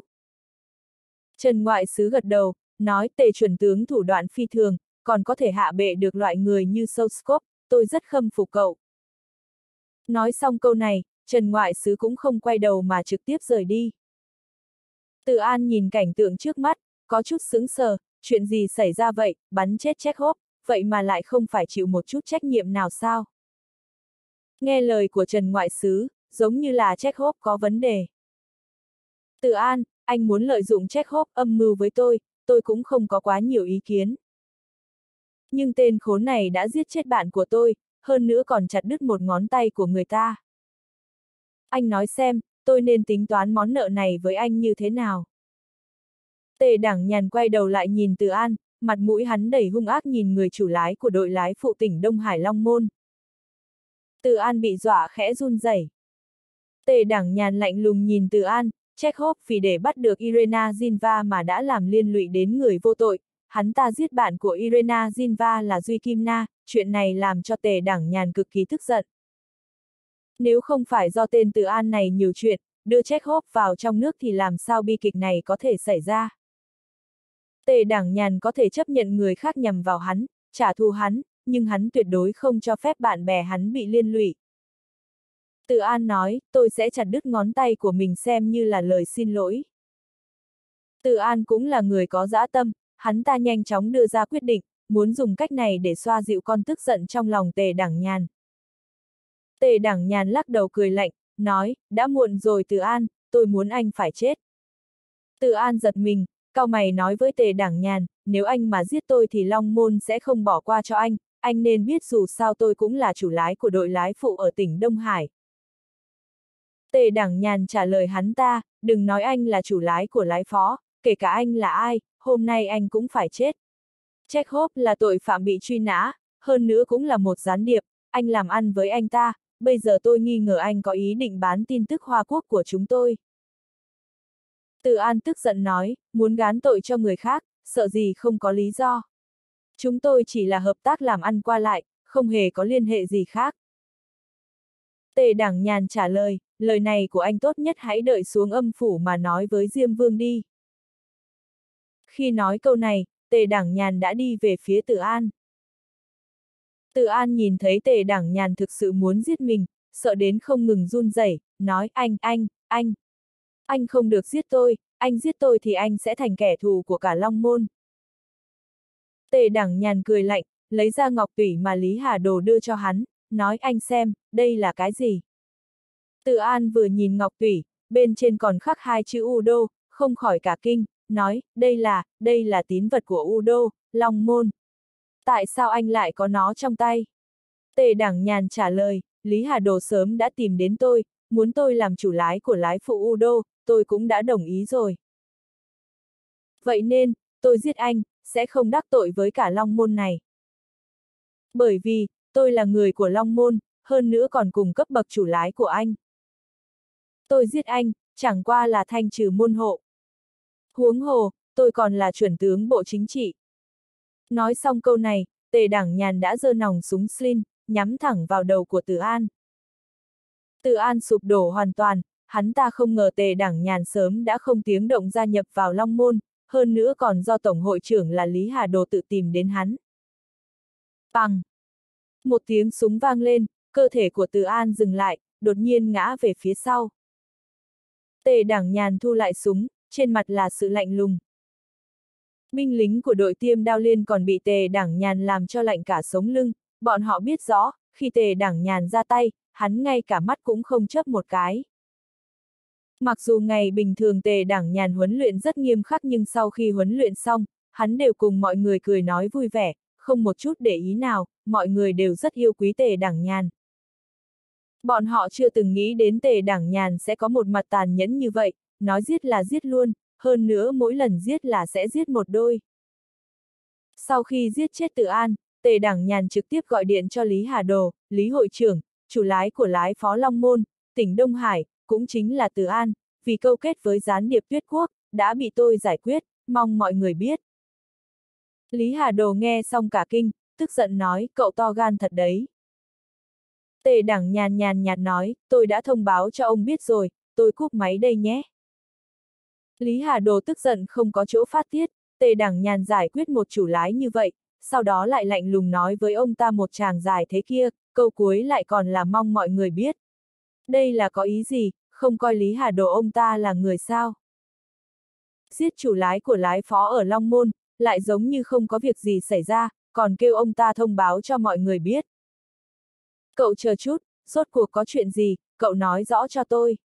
Lý Hà Đồ tức giận đùng đùng nói. Ông tự nghe ngóng đi, tôi cũng không có hứng thú tán gẫu với ông, chốc nữa tôi còn bận làm việc khác rồi. Tề đảng nhàn lãnh đạm nói. Tề đảng nhàn phất tay, ra hiệu cho binh lính của đội tiêm đao liên thu dọn thi thể. Sau đó, hắn trực tiếp cúp điện thoại và chặn Lý Hà Đồ, rồi ném điện thoại vào túi. Của nhiên Lý Hà Đồ gọi lại cho tề đảng nhàn nhưng bản thân đã bị chặn, gọi không được, tức giận không chịu nổi. Cái tên này. Cái tên này cũng quá là điên rồi. Lần trước thì kết hợp với Ngọc Tiểu Long làm ta thiệt một vố lớn, lần này lại không nói lời nào mà giết chết chủ lái của ta. Lý Hà Đồ hận nghiến răng nghiến lợi, nếu bây giờ tề đảng nhàn đứng trước mặt ông ta, ông ta hận không thể xé hắn ra thành trăm nghìn mảnh.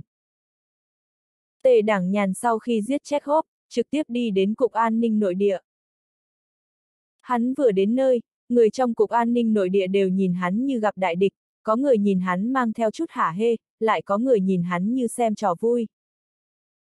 Mọi người đều biết, 6 giờ hôm nay, Irena Zinva sẽ bị giao lại cho Chekhov.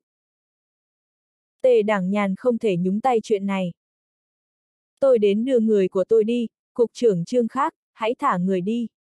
Tề đảng nhàn trực tiếp đi vào phòng của cục trưởng, tìm đến trương khác, nói thẳng vào vấn đề. Trương khác không khỏi sửng sốt, hỏi, tề chuẩn tướng, cậu bị làm sao vậy? Sắp 6 giờ rồi, người đấy chúng tôi phải bàn giao cho Chekhov. Tề đảng nhàn cười nhẹ, Chekhov đã là người chết rồi, ông sẽ không giao người sống cho một người chết chứ. Cái gì? Vui đùa cái gì vậy? Nghe thấy tin tức này, không người nào là không giật mình.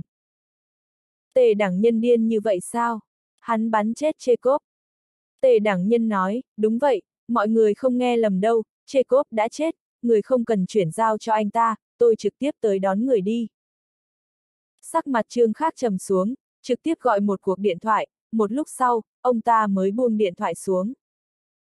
Giao người cho tề tướng quân. Trương Khắc phất tay, nhàn nhạt đưa ra mệnh lệnh. Nhân viên Cục An ninh Quốc gia thành phố Trung Hải đều tròn mắt nhìn nhau, có chút kinh ngạc. Trước đó bọn họ còn cảm thấy tề đảng nhân vô năng, căn bản cứu không được Irena Zinva, nhưng hiện tại, trường khác lại thay đổi. Để hắn mang người đi.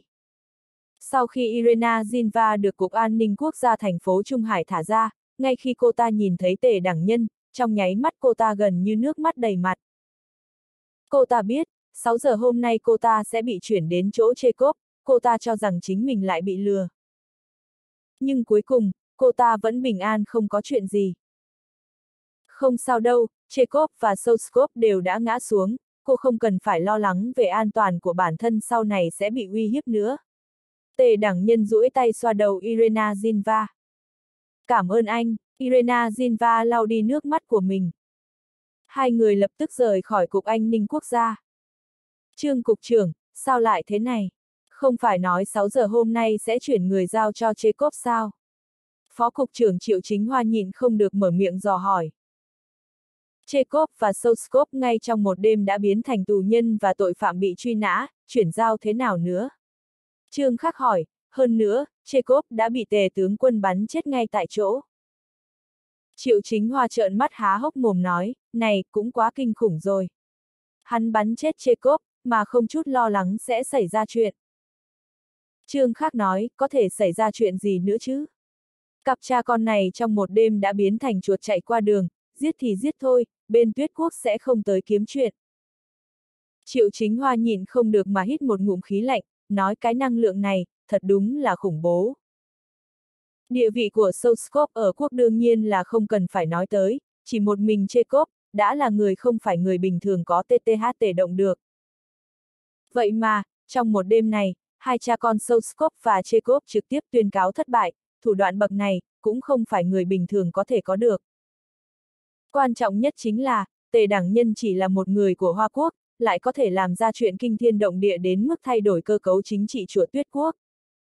Theo sau sự sụp đổ của Soscope, một số lượng lớn nhà chính trị cùng phe với hắn ta cũng sẽ bị người của Cục Chính trị thanh lý. Thậm chí vị thị trưởng ST, Peterburg có khả năng sẽ trở thành tổng thống trong tương lai cũng bị liên lụy, dẫn đến con đường chính trị của ông ta sau này chìm trong bóng tối không lối thoát.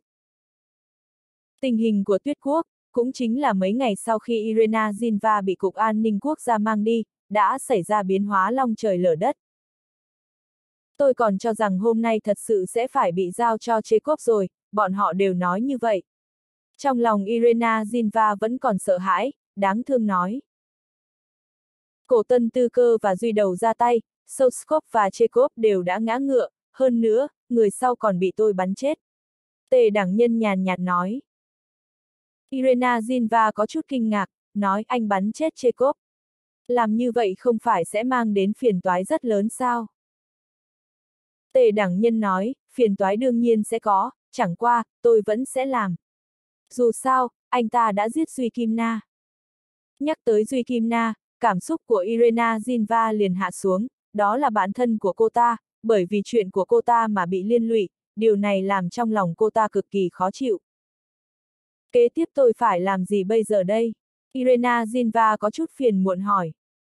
Ngày mai cô đến tập đoàn hướng thị làm việc đi, làm việc cho tốt, chờ thời cơ chín muồi, tôi sẽ sắp xếp cho cô một vài chuyện đặc biệt để làm tề đảng nhân nói. Irena Zinva gật đầu, cô ta cũng muốn sống như người bình thường, làm một con chim hoàng yến tương lai mịt mù thực sự là một chuyện vô cùng đau khổ. Sau khi tề đảng nhân làm thịt chê cốp, tuy rằng vấn đề không lớn, nhưng mọi chuyện ít nhiều vẫn có chút lên men. Chẳng qua, đã có phong vân lão tại thời khắc mấu chốt đứng ra nói chuyện giúp hắn, anh ta cho rằng tề đảng nhân làm như vậy, là vì muốn giữ lấy lợi ích cho quốc gia, bởi vì, chê cốp thuộc diện nhân vật nguy hiểm, càng là tội phạm bị truy nã, đi vào Hoa Quốc đương nhiên là có âm mưu không muốn người nhìn thấy. Bản thân địa vị siêu nhiên của Chekhov đã rơi xuống đáy cùng với những thay đổi mạnh mẽ của tuyết quốc, hơn nữa có phong vân lão đứng ra vì tề đảng nhân nói chuyện, chuyện này cuối cùng cũng chỉ có thể không giải quyết được gì. Hơn nữa, nhìn dáng vẻ của tuyết quốc có vẻ như cũng không tính truy cứu, bọn họ chỉ yêu cầu Hoa Quốc vận chuyển thi thể về tuyết quốc là được. Tề đảng nhân để Irena Zinva lái xe, bản thân lại ngồi trên xe gọi không ít cuộc điện thoại, tuy rằng giết người rất sảng khoái, nhưng xong việc cũng phí rất nhiều miệng lưỡi. Lần sau đừng xúc động như vậy nữa, giết người cũng không thể giải quyết vấn đề. Huống chi, cậu cũng có thể làm một cách kín đáo đến thần không biết quỷ không hay. Phong Vân Lão nói. Tôi thì muốn quang minh chính đại xử lý anh ta, như vậy, những kẻ đối địch với tôi cũng sẽ biết không nên xuống tay với người thân bạn bè của tôi. Tề đẳng nhân lại không chút nào cảm kích mà đáp lại. Phong vân lão bị hắn làm cho đau đầu, nói cậu làm việc có thể mang theo đầu óc được không? Tề đẳng nhân nói, nếu tôi không mang theo đầu óc thì ngày đó tôi đã trực tiếp giết anh ta rồi, sao có thể để anh ta kiêu ngạo cho tới hôm nay? Phong vân lão hết chỗ nó, lắc đầu, được, nếu cậu đã làm, tôi cũng lười nói nữa. Bất quá, tôi hy vọng lần sau lúc cậu làm những chuyện như thế này, nhớ để ý nhiều hơn một chút. Tề đẳng nhân ừ ừ à à đáp ứng, trực tiếp cúp điện thoại, phong vân lão vừa nghe liền biết cái tên này không để trong lòng, xem toàn bộ những gì ông ấy nói đều là gió thoảng bên tai. Ông ấy giờ khóc giờ cười, cũng không biết tính tình tùy hứng này của tề đảng nhân là tốt hay xấu. Điểm tốt chính là hắn yêu ghét rõ ràng, tuyệt không nương tay với đối thủ, điểm xấu là có đôi khi quá mức cương liệt, căn bản không tính toán so đo hậu quả. Từ xưa nho lấy văn loạn pháp, hiệp dùng võ vi phạm lệnh cấm. Tên tề đẳng nhân này, một thân trình độ võ nghệ cao đến thái quá, hơn phân nửa cũng có tâm tư dùng võ vi phạm lệnh cấm, phong vân lão âm thầm cười khổ. Quốc gia đối với một vài cao thủ võ thuật cũng cực kỳ đau đầu, những người này giá trị vũ lực cực cao, không chịu quản giáo, sống toàn tâm toàn ý dựa vào chính bản thân mình. Sau khi Ngọc Tiểu Long biết được chuyện tề đảng nhân bắn chết chê cốp cũng khá ngạc nhiên, ngay sau đó, cô gật đầu, nói, nhân vật như thế, mới có tư cách sóng vai sánh bước với con. Hiển nhiên, cô vô cùng tán thành cách làm của tề đảng nhân. Irena Zinva thấy tề đảng nhân gọi nhiều cuộc điện thoại như vậy, liền trở nên cẩn thận, nói tiên sinh, có phải có rất nhiều phiền toái đúng không? Tề đảng nhân cười cười, nói có phiền toái cũng không liên quan tới cô, tôi sẽ xử lý rõ ràng. Hai người đã về tới tiểu khu kim sắc hoa viên, Irena Zinva thông báo một tiếng, rồi đi tắm rửa. Ở Cục An ninh Quốc gia đợi mấy ngày nay, không thể cẩn thận rửa mặt tắm rửa kỹ càng, làm cô ta cảm thấy cả người cực kỳ không thoải mái. Mẹ nó, chỉ giết có hai người thôi có gì đâu. Sớm biết vậy đã không gia nhập giới chính trị, tề đảng nhân có chút khó chịu mà nhíu mày, trực tiếp tắt nguồn điện thoại. Hết người này đến người khác gọi điện thoại tới, làm hắn điên hết cả đầu, hắn căn bản là lười quan tâm, giết cũng giết hết rồi, còn gì mà nói. Lúc trước, tề đảng nhân tiếp nhận ý tốt của Phong Vân, cũng có một chút do dự, chính là sợ những chuyện phiền toái như thế này. So với trước kia, muốn giết thì giết, sẽ không có ai tới lại nhảy trước mặt hắn. Sau khi Irena Zinva tắm xong đi ra, trên người thay một bộ áo ngủ lông xù hình phim hoạt hình, nhìn qua giống như em gái nhà bên. Những người phụ nữ xuất thân từ trại nhạn chính là như vậy, cho dù có trang điểm hóa thân thế nào, họ cũng có thể sắm vai đủ loại nhân vật, hơn nữa, còn làm người khác không thể bắt bẻ bất cứ thứ gì. Cô ta nhìn thấy tề đảng nhân đang ở trong bếp nấu ăn, lập tức sửng sốt, sau đó trong lòng giấy lên một chút cảm giác tốt đẹp, ảo tưởng chính mình đã kết hôn với người đàn ông này, bản thân cô ta mới vừa tan tầm trở về, còn chồng cô ta thì đang ở trong bếp nấu ăn. Tự do, giống như một chiếc lông vũ không được cố định, chỉ cần thổi một cái, nó sẽ lập tức bay đi. Irena Zinva nghĩ đến lời của một trong những tiền bối của cô đã từng nói một cách thấm thía. Một bữa tối tuy không quá phong phú, nhưng có thể nói là ngon miệng tối nay khiến Irena Zinva cảm thấy mỹ mãn. Sau đó, cô ta hỏi, tiên sinh, đêm nay anh sẽ ở lại chỗ này sao? Tề đẳng nhân nói, không, cô nghỉ ngơi cho tốt đi, ngày mai đến tập đoàn hướng thị chính thức làm việc, tôi sẽ không quấy rầy cô. Irena Zinva ái muội nói, này cũng không tính là quấy giày, ngược lại có thể xem như một loại cổ vũ. Tề đẳng nhân lắc đầu nói, cô không cần cố tình lấy lòng tôi, đây không phải là chuyện mà cô nên làm, bởi vì sau này cô sẽ có một cuộc sống hoàn toàn mới.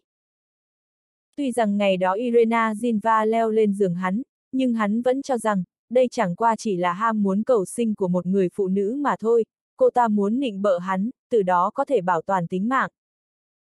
Tôi không có cố tình lấy lòng anh, anh đã cứu mạng tôi, hơn nữa còn nguyện ý cho tôi tự do, chẳng lẽ anh không cho rằng tôi thích anh sao? Irena Zinva có chút oán hận mà nói. Thời điểm cô ta nói những lời này lộ ra vẻ nhu nhược đáng thương, ánh mắt tràn ngập trông chờ người nổi lòng chắc ẩn. Nhưng tề đẳng nhân rõ ràng, Irena Zinva chính là người xuất thân từ trại nhạn, những cảm xúc lộ ra như này, đều là nhờ huấn luyện đặc biệt mà có. Irena Zinva có chút buồn bực, nói, vậy anh muốn tôi làm gì thì anh mới tin tưởng tôi. Chuyện anh hùng cứu mỹ nhân từ xưa đã có, cảm tình thường thường sẽ xuất hiện sau khi mỹ nhân được cứu. Tình cảm của chúng ta là logic, hoàn toàn phù hợp với logic ngày xưa và quy luật tự nhiên. Tề đẳng nhân chỉ cười ha ha, nói tôi cảm thấy tâm tư của cô hiện tại quá rối loạn, chờ đến khi bình tĩnh lại, sau đó hẳn cẩn thận suy nghĩ lại chuyện như vậy. Ra vẻ đạo mạo cùng lắm cũng chỉ thế này là cùng. Irena Zinva mím môi, trong lòng thầm nghĩ, bỗng nhiên có chút tán thành với mấy câu mà Trương Nhu mắng hắn. Nghĩ nghĩ, Irena Zinva yên lặng nâng hai chân thon dài lên, ống quần trượt xuống, lộ ra cẳng chân mảnh khảnh mượt mà. Bên trên cẳng chân được bọc một lớp lụa mỏng màu đen. Này, làm gì có chuyện ở nhà mặc áo ngủ mang vớ lụa, còn yêu tinh này đạo hạnh rất cao. Có vẻ là đã sớm có dự mưu, tề đảng nhân tàn nhẫn đưa ra một lời bình luận xem thường. Anh không thể đi, Irena Zinva trực tiếp đứng lên, đi đến cạnh cửa, giang đôi tay ra chặn cửa. Canh gà không có độc, mau nhân lúc còn nóng thì uống đi, tôi không quấy giày cô. Tề đảng nhân nói. Chấm hỏi chấm hỏi chấm hỏi. Irena Zinva mặt đầy dấu chấm hỏi nhìn hắn, không rõ hắn đột nhiên nói một câu như vậy là có ý gì. Tề Đảng nhân nói, cô không cho tôi đi, tôi sẽ đánh cô. Irena Zinva nói, hôm nay tôi có thể xuất ra 10% kỹ năng tôi học được từ trong trại nhạn. Tề đẳng nhân hít hà một hơi, lần trước một phần trăm đã tuyệt vời như vậy rồi, này con mẹ nó, 10% là lợi hại như thế nào? Bị một cô gái đặc vụ đến từ một dân tộc thiện chiến đe dọa uy hiếp, hơn nữa đối phương còn tuyên bố sẽ xuất ra 10% kỹ năng, một người sinh ra đã sống trong nhung lụa như tề đẳng nhân sao có thể chống lại. Người ta dù sao cũng là dân tộc thiện chiến, hơn nữa còn là đặc vụ, nói vậy có nghĩa là rất lợi hại. Để tránh cho bị tổn hại, hắn cũng chỉ có thể ủy khuất mà phản bội lập trường cách mạng mà bản thân vừa mới kiên định noi theo. Như thế này mà, thật sự chỉ có 10% thôi sao? Đúng vậy, chỉ có 10% công lực. Chạy nhanh đúng là lợi hại, những thứ này mà cũng có thể nghĩ đến. Còn có cái lợi hại hơn, về sau tôi sẽ biểu diễn cho anh xem. Thật lợi hại, tề đẳng nhân thở dài một tiếng, tâm phục khẩu phục, khó trách đặc vụ của trại nhạn có thể trở thành vợ của các quan chức cấp cao của nước Mỹ, kỹ năng bậc này, không chỉ đơn giản là hai người ngủ với nhau. Ngày hôm sau lúc tề đẳng nhân mở mắt, cảm thấy có hơi hoa mắt, tiếp sau đó là eo đau. Mở mắt ra đã nhìn thấy Irena Zinva chỉ mặc một cái áo sơ mi của hắn đứng ở chỗ cửa sổ, ánh mặt trời bên ngoài chiếu vào, đáp trên gương mặt trắng nõn và mái tóc vàng kim óng ả của cô ta.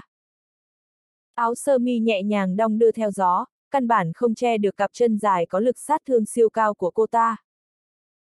Giờ phút này tay phải của Irena Zinva đang chống cằm, mắt nhìn về phương xa, trong ánh mắt đã không còn sự mê man và do dự như ngày thường, lại nhiều thêm vài phần lãnh đạm và điềm tĩnh. Trong lòng tề đẳng nhân nảy lên một loại cảm xúc khác thường, cô ta giống như đã hoàn thành bước lột xác.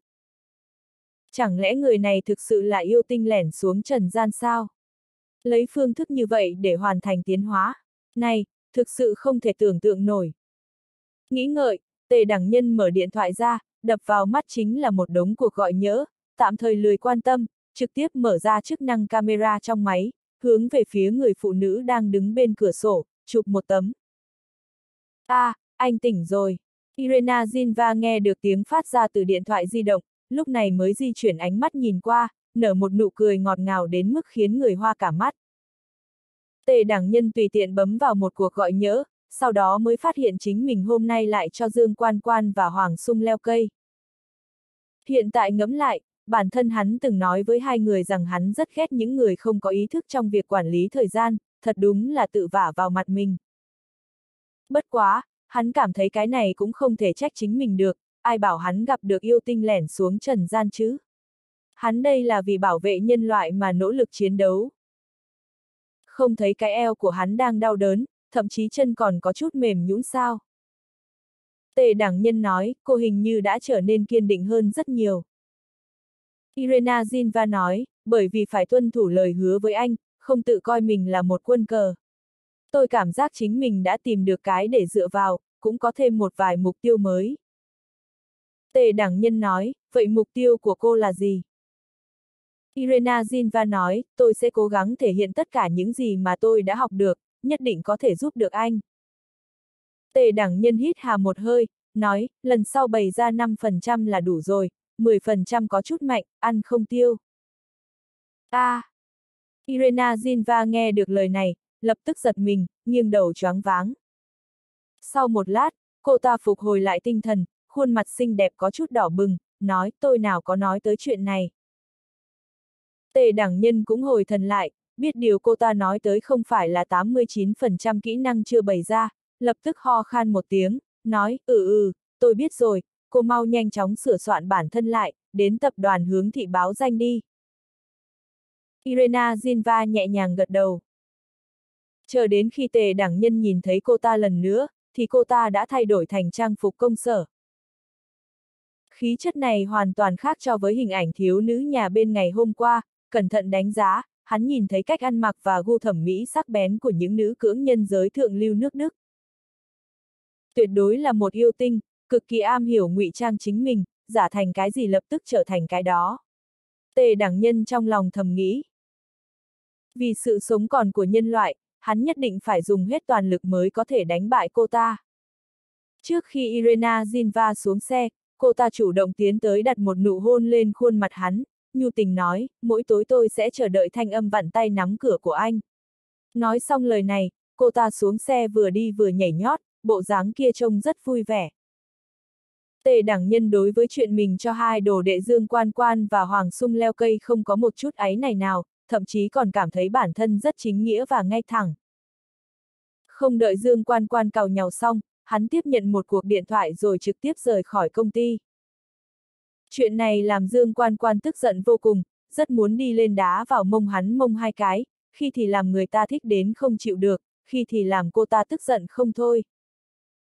Tề Đảng nhân trực tiếp đi tới câu lạc bộ Thượng Đông, sau đó đứng chờ ở trại nuôi ngựa, nhân tiện bảo nhân viên công tác đóng cửa trường đua. Gần đây việc làm ăn của câu lạc bộ Thượng Đông vẫn chưa hoàn toàn khôi phục, người đến vốn đã ít rồi, sau khi đóng cửa trường đua, cũng không cần lo lắng có người tới quấy giày. Không bao lâu, Ngọc Tiểu Long và một người phụ nữ khác cùng nhau đi vào. Tề Đảng nhân nhìn thấy mà ngạc nhiên, người kia không phải là Trần Ngư sao? Trần Ngư đi bên cạnh Ngọc Tiểu Long, bị khí chàng khổng lồ của cô bao phủ, thế nhưng lại trông không hề kém cạnh chút nào. Trên khuôn mặt tinh xảo là một cặp kính không gọng giống y hệt như cặp kính đã bị hỏng trước đó, cô ta bận một bộ tây trang chỉnh tề và giản dị, thể hiện khí chất ngự tỷ một cách hoàn hảo. Còn Ngọc Tiểu Long lại chỉ mặc một bộ đồ thể dục đơn giản, cực kỳ anh khí, khí chất của cô, thậm chí còn mạnh mẽ hơn so với rất nhiều người đàn ông. Không biết đã bao nhiêu người phụ nữ đã từng cảm thán, tiếc hận vì Ngọc Tiểu Long là phụ nữ, nếu không nhất định sẽ gả cho cô. Trần Tiểu Thư sao lại xuất hiện ở thành phố Trung Hải đây? Đã vậy còn đi cùng với Ngọc Tướng Quân nữa chứ? Tề đảng nhân kinh ngạc hỏi. Trần Ngư cười cười, nói chỉ khi tôi xuất hiện ở những nơi không ai ngờ đến mới không dễ dàng bị người khác giết chết. Tề đảng nhân như nghĩ đến cái gì đó, nói, bên trong những lời này ẩn chứa rất nhiều tin tức đấy, tức là, cô suýt chút nữa bị người khác giết chết sao? Ít nhiều cũng là nhờ Ngọc Tướng Quân. Trần Ngư gật đầu, nói. Cho dù gặp phải tình huống nguy hiểm suýt nữa bị giết chết, mà cô ta vẫn còn có thể thong dong bình tĩnh sau cơn thảm họa, loại khí chất này, thật sự là khó có được. Tề đẳng nhân hỏi, Ngọc tướng quân cô hẹn tôi đến đây là có chuyện gì sao? Trần Ngư cười nói, tôi muốn cưỡi ngựa, vừa cưỡi ngựa vừa tán gẫu không? Tề đẳng nhân nghĩ nghĩ, trực tiếp đưa hai người tới chuồng ngựa chọn ngựa. Ngọc Tiểu Long chọn một con ngựa thuần trắng, còn Trần Ngư lại chọn một con ngựa Ả Rập, tề đẳng nhân chỉ tùy tiện chọn đại một con. Thật ra không phải tôi muốn gặp anh, mà là Trần Ngư muốn gặp anh. Ngọc Tiểu Long ngồi ở trên lưng ngựa, nhàn nhạt nói. a à, tề đẳng nhân nhìn thoáng qua Trần Ngư, có chút kinh ngạc. Trần Ngư gật đầu, gió nhẹ thổi vào mặt, thổi mái tóc của cô ta bay bay, vì thế, dù cô ta chỉ nhẹ nhàng phất tay, cũng là tràn ngập phong tình. Cũng may gần đây tề đảng nhân gặp phải yêu tinh Irena Zinva, cho nên hiện tại tương đối có lực kháng cự với mị lực của Trần Ngư. Trần Ngư nói, tôi nghe nói từ ngạo tuyết muốn quặng sắt ở Nam Dương của Trần gia chúng tôi đúng không? Trên thực tế, quặng sắt kia đã bị khai thác gần như là cạn kiệt rồi. Tề đảng nhân nói, cô ấy nói là nguyện ý xuất ra 4 tỷ để mua lại, tôi cảm thấy không chỉ đơn giản như vậy. Chỉ là muốn có một cơ hội để nhúng tay vào thế cục ở Nam Dương thôi, cái quặng sắt này đương nhiên không quan trọng. Trần Ngư cười ha hả, lắc đầu. Tề đẳng nhân vỗ yên ngựa, nói cho nên, cái quặng sắt này không thể bán sao. Trần Ngư nói, không, tôi muốn anh tìm một cơ hội bán cho cô ấy. Dù sao, 4 tỷ, một số tiền lớn như vậy, không kiếm là đầu ngu. Tề đẳng nhân nghe thấy lập tức nhíu mày, nói cô có biết hiện tại sau lưng từ ngạo tuyết là ai không?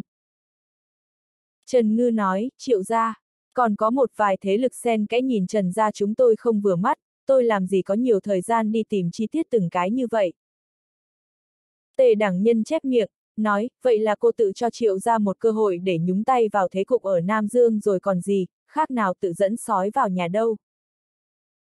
Trần Ngư tự tin nói, cũng không hẳn, có khả năng là đóng cửa đánh chó. Tề đẳng nhân nói, nói cho tôi biết lý do cô muốn làm như vậy đi. Trần Ngư như suy nghĩ gì đó mà cúi đầu trầm ngâm một lúc lâu, sau đó mới đẩy mắt kính, nói Trần gia ở Nam Dương, đã đi tới một giai đoạn không thể phá vỡ, không thể phát triển, cũng không thể để hỏng được.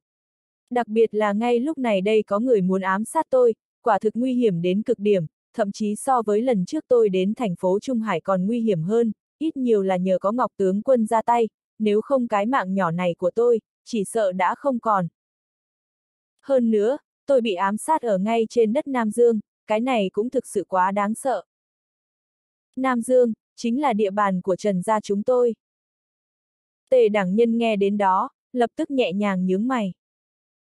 Trần Thị đã đứng đầu thống trị Nam Dương nhiều năm, hiện tại cư nhiên lại xuất hiện nhiều chuyện xảy ra trên địa bàn Nam Dương như vậy, có thể thấy được, phương diện khống chế của Trần Gia ở một khía cạnh nào đó đã bị suy yếu đi không ít. Nam Dương là một khối thịt mỡ lớn, người nhìn chằm chằm vào nơi này không hề ít, không chỉ đơn giản là triệu gia, thậm chí còn có thế lực quốc gia. Hiện tại, nước quá trong, con cá trong nước đều bơi qua bơi lại, căn bản phân không rõ ai ăn thịt, ai ăn chay. Nếu không quấy nước đục một chút, bọn người kia sao có thể lộ ra răng nanh. Hơn nữa, nội bộ bên trong Trần gia chúng tôi, cũng đã đến lúc phải chỉnh đốn lại.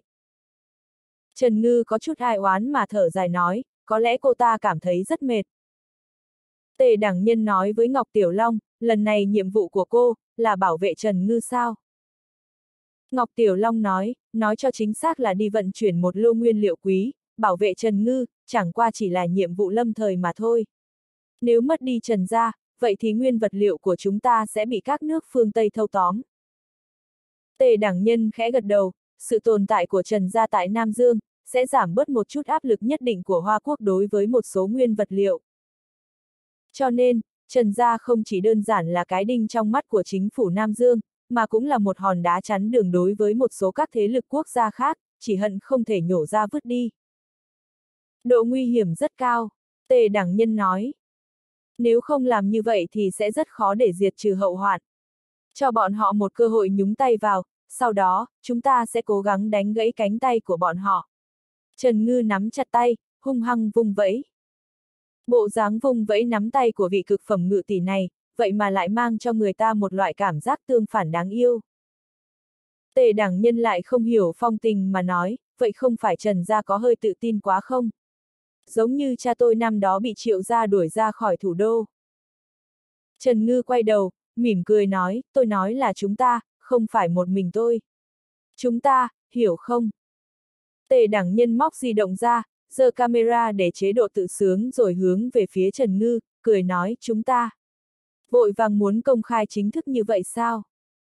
Anh cảm thấy bản thân rất hài hước sao? Trần Ngư giật mình, sau đó nghiến răng hỏi, thông qua camera có thể thấy trên mặt cô ta có chút ý lạnh. Trước đây từng có hai minh tinh nổi tiếng công khai yêu nhau bằng cách đăng ảnh tự sướng, sau đó để caption là chúng ta. Ngọc Tiểu Long lại nhìn không được mà bật cười, bất đắc dĩ lắc đầu, nói cái tên này tính cách là như vậy đó, cô đừng để ý là được. Trần Ngư hỏi, nếu chúng ta liên thủ với nhau, vậy anh còn cảm thấy chúng ta không có phần thắng sao? Tề đẳng nhân nói, cha, phần thắng rất lớn, dù sao Trần gia cũng là tác chiến trên địa bàn lãnh thổ. Trần Ngư lập tức nói, như vậy, chuyện này có thể giao cho anh làm được không? Mang cái quặng mỏ này lặng lẽ không lưu dấu vết mà bán cho từ ngạo tuyết, sau đó dẫn dụ triệu gia nhập cục. Tề đẳng nhân nhéo cầm suy nghĩ, nói thật ra tôi có một cái ý tưởng này, nhưng thực sự rất phiền toái, mà tôi lại sợ phiền toái. Hơn nữa, làm như vậy, không có lợi ích nào đối với tôi cả. Gần đây việc cần làm của tôi rất nhiều, xử lý xong còn phải đến Thượng Hải đi khảo hạch. Trần Ngư bị lý do đường hoàng này của tề đảng nhân làm cho tức giận. Ngọc Tiểu Long cũng bị tề đảng nhân làm cho phì cười, nói, viện trưởng la nói một chút cũng không sai, người thật là một miếng thịt dai nhách, cắt thế nào cũng không đứt. Tề đảng nhân ngồi trên ngựa lười biếng duỗi eo, nói tôi chỉ là không muốn đỡ thôi, như thế nào lại thành miếng thịt dai nhách rồi.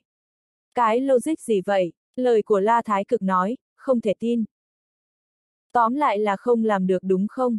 Trần Ngư đen mặt hỏi. Không phải là không làm được, mà là rất khó để qua mặt từ ngạo tuyết. Nếu tôi cứ dễ dàng bắn cái quặng mỏ kia cho cô ấy, cô ấy chắc chắn sẽ đề phòng, đến lúc đó sẽ gây bất lợi cho những hành động kế tiếp. Tề đẳng nhân lắc đầu nói. Ngọc Tiểu Long nói, đúng là như thế thật, cô ấy quá thông minh, muốn lừa gạt qua mặt cô ấy là chuyện rất khó. Trần Ngư nói, cũng không cần phải lừa, cứ bán cho cô ta đi, chắc chắn cô ta sẽ mua. Đây là dương mưu, quang minh chính đại mà chiến đấu không phải sao. Ngọc Tiểu Long và Tề Đảng Nhân cùng liếc mắt nhìn nhau một cái, đều đồng loạt lắc đầu. Cảm thấy làm như vậy vẫn quá tùy tiện, dù sao sau lưng từ ngạo tuyết cũng là triệu gia. Cho dù thật sự muốn dẫn triệu gia nhập cục, cũng không thể dùng phương thức như vậy, cần phải nhẹ nhàng một chút, để lại đường lui cho sau này. Vậy anh nói xem phải làm sao bây giờ? Trần Ngư phồng má, tức giận hỏi, tôi tới tìm anh nhờ hỗ trợ, anh lại ngại phiền toái. Tề đẳng nhân nói, là thật sự khá phiền toái, chứ không phải ngại phiền toái. Trần Ngư nói, phiền toái thì phiền toái, nhưng chuyện nhất định vẫn sẽ làm chứ. Anh giúp tôi, sau này ngày nào tôi cũng sẽ mang quần tất đen. Những lời nói này chẳng qua là lời nói ra khi nóng giận mà thôi, buổi tôi ngày đó cô ta tình cờ nghe thấy cuộc trò chuyện không trong sáng của Tề Đảng Nhân và Lý Vân Huyền. Vì thế, ngày hôm sau cô ta không cho người phụ nữ nào con đường sống, trực tiếp mặc váy ngắn đi kèm với quần tất đen, dùng một bộ đồ nháy mắt hạ gục ánh nhìn của mọi người tại sân bay. Ngọc Tiểu Long nghe được lập tức giật mình, đây là cái ý logic gì vậy? Tề đẳng nhân khẳng khái trả lời, được. Ngọc Tiểu Long suýt nữa té xuống ngựa. Trần Ngư lại hung hăng trợn trắng mắt, thực sự muốn mặc kệ khí chất thục nữ của mình mà giơ ngón tay giữa vào mặt hắn. Đến đây đi, chúng ta bàn kế hoạch, Trần Ngư nói. Đầu tiên, cần phải giả bộ như tôi đang rất thiếu tiền, cái này thì phải cần tới tập đoàn hướng thị phối hợp theo, hơn nữa, tôi còn cần cổ tân tư cơ yểm trợ. Tề đẳng nhân nói. Nói cách khác, phải giả bộ tới mức từ ngạo tuyết chỉ cần liếc mắt một cái là có thể nhìn ra. Việc thiếu tiền này chỉ là tạm thời mà thôi. Trần ra các người nếu có tài sản ngoài luồng gì đó, có thể lợi dụng cơ hội này để vận hành, làm hiệu quả càng thêm thực tế hơn một chút. Tề Đảng nhân kéo dây cương dừng ngựa, sau đó chậm rãi thuật lại kế hoạch mà mình nghĩ ra. Hắn dùng tổng cộng 10 phút để kể lại kế hoạch khổng lồ này, có thể nói là chi tiết về mọi mặt, toàn bộ đều liên kết thành một vòng. Ngọc Tiểu Long và Trần Ngư đều rất ngạc nhiên, âm mưu này đúng là dây thêm phiền toái, bất quá, muốn lừa được từ ngạo tuyết, chắc chắn là không có vấn đề gì. Thì ra anh sớm đã có kế hoạch, lúc này Trần Ngư mới phát hiện bản thân đã bị lừa, lại lần nữa giơ nắm tay lên, vẻ mặt bày ra một biểu tình hung dữ. Kỳ thật từ lúc từ ngạo tuyết tìm tôi giao dịch, tôi đã suy nghĩ đến chuyện này rồi, gần tôi vừa quen được một yêu tinh, cô ấy có thể giúp đỡ thực hiện kế hoạch này. Tề đẳng nhân nói. Yêu tinh này, đương nhiên là Irena Zinva. Tề đẳng nhân nói, dùng phương thức tinh vi như vậy để mang triệu gia nhập cục, cũng sẽ giúp Trần gia có thêm thời gian để chuẩn bị, nếu vừa lên sàn đã thẳng thắn như vậy, áp lực về sau sẽ rất lớn. Trần Ngư gật gật đầu, không thể không thừa nhận lời tề đẳng nhân nói rất hợp lý. Dùng dương mưu đương nhiên cũng có thể, triệu gia cũng tình nguyện công khai bước chân vào Nam Dương, nhưng hai bên đều sẽ chơi quân bài của mình ở ngoài sáng. Quanh co lòng vòng một chút, ít nhất có thể làm cho mâu thuẫn không cần phải trở nên quá sâu sắc, cũng sẽ giúp cho bố cục của Trần Gia có thêm thời gian củng cố đầy đủ hơn.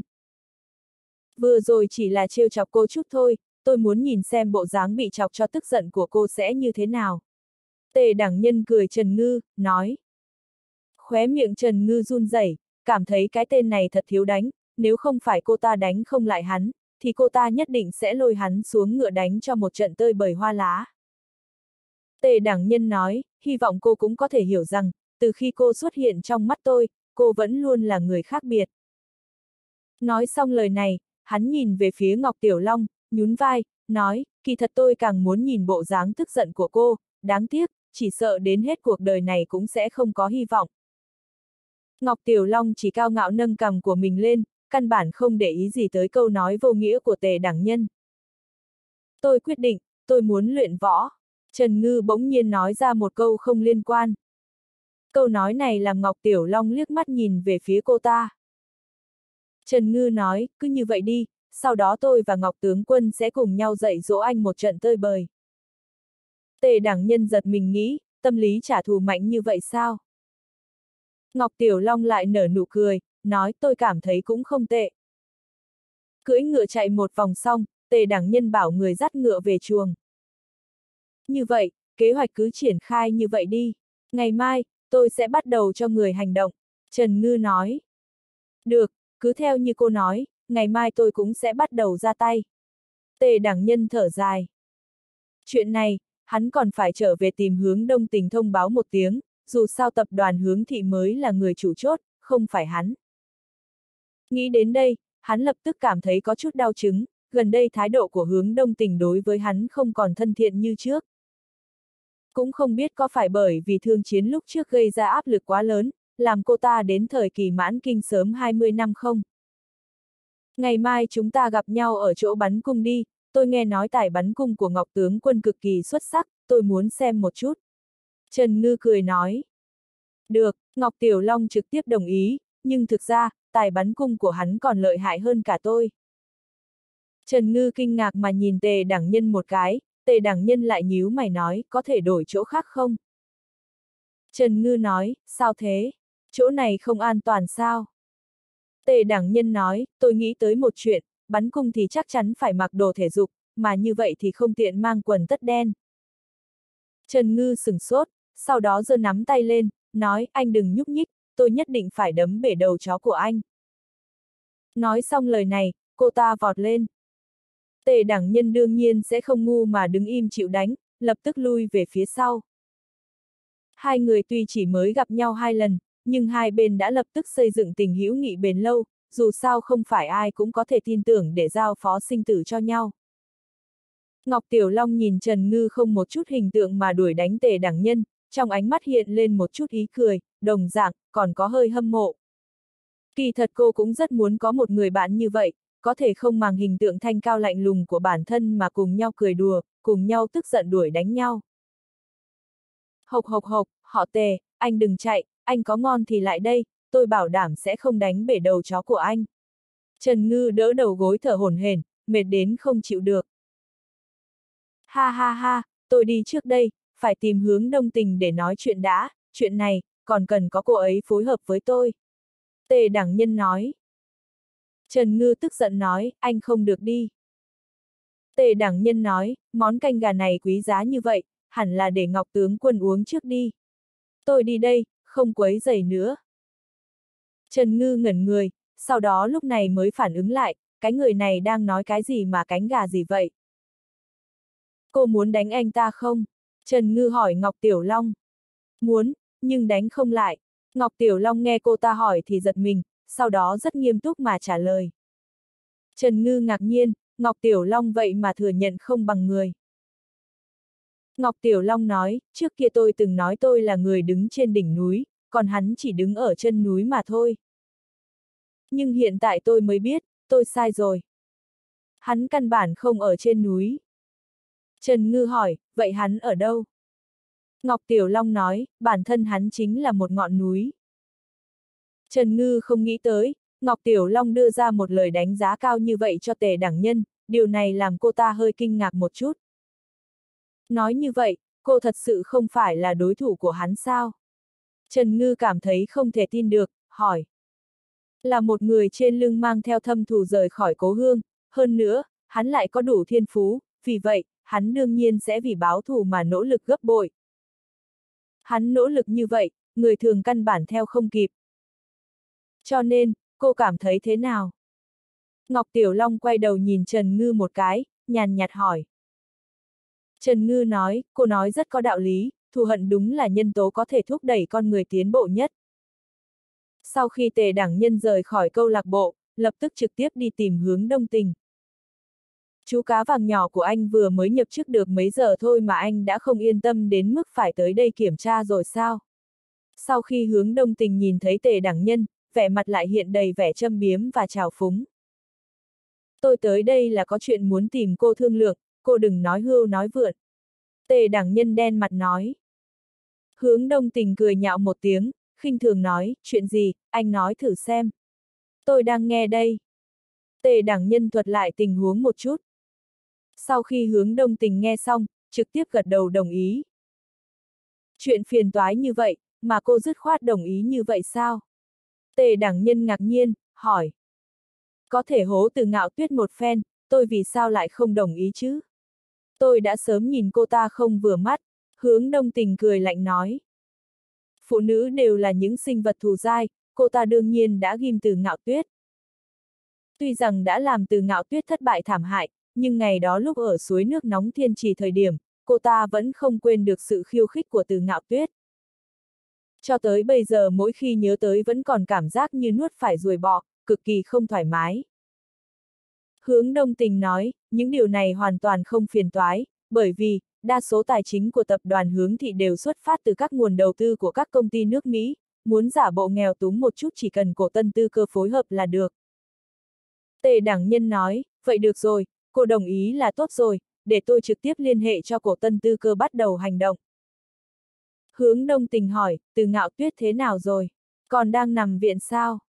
Tề đảng nhân gật đầu, nói, gần đây tôi không đi thăm cô ấy, chắc là còn đang dưỡng thương, nhưng chắc hẳn cũng sắp xuất viện rồi.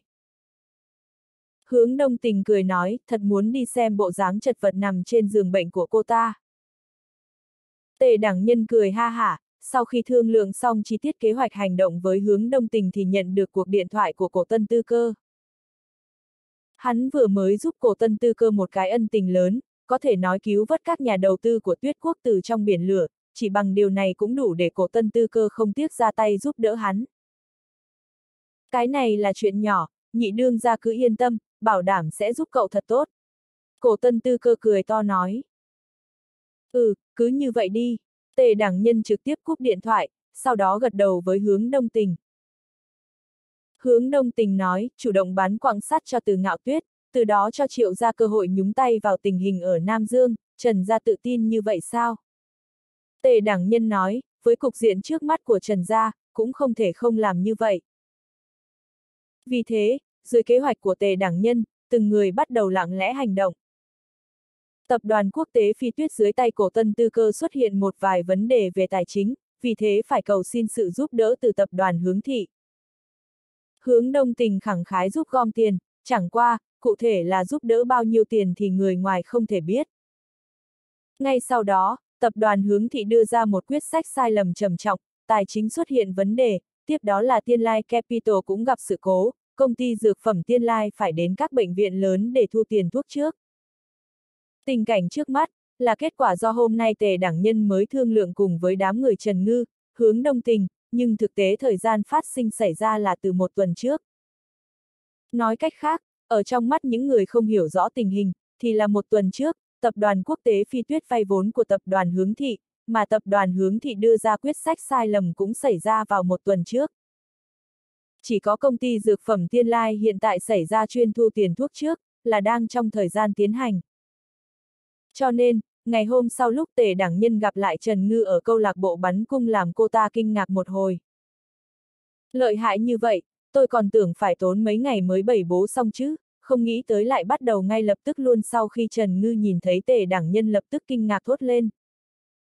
Nếu tuyến thời gian bắt đầu vào ngày hôm qua, thì có lẽ sẽ làm người ta cảm thấy có hơi trùng hợp một chút, dù sao tung tích của cô cũng không phải là bí mật gì phải bảo mật tuyệt đối, để cho người có tâm nhìn thấy, sẽ suy nghĩ về mối liên hệ giữa hai người, rất có thể khiến người khác cảnh giác. Tề Đảng Nhân nói. Thông minh, tập đoàn hướng thị giả bộ thiếu tiền trước khi tôi đến thành phố Trung Hải thị rồi, vậy nên, cho dù có người biết được tung tích của tôi cũng sẽ không nảy sinh ra nghi ngờ. Trần Ngư gật đầu, khen ngợi. Trần Ngư chuyển nhượng hợp đồng quặng mỏ ở Nam Dương của tập đoàn Trần Thị vào tay Tề Đảng Nhân, nói, hợp đồng ở đây, anh bất cứ lúc nào cũng có thể đi tìm từ ngạo tuyết bàn chuyện.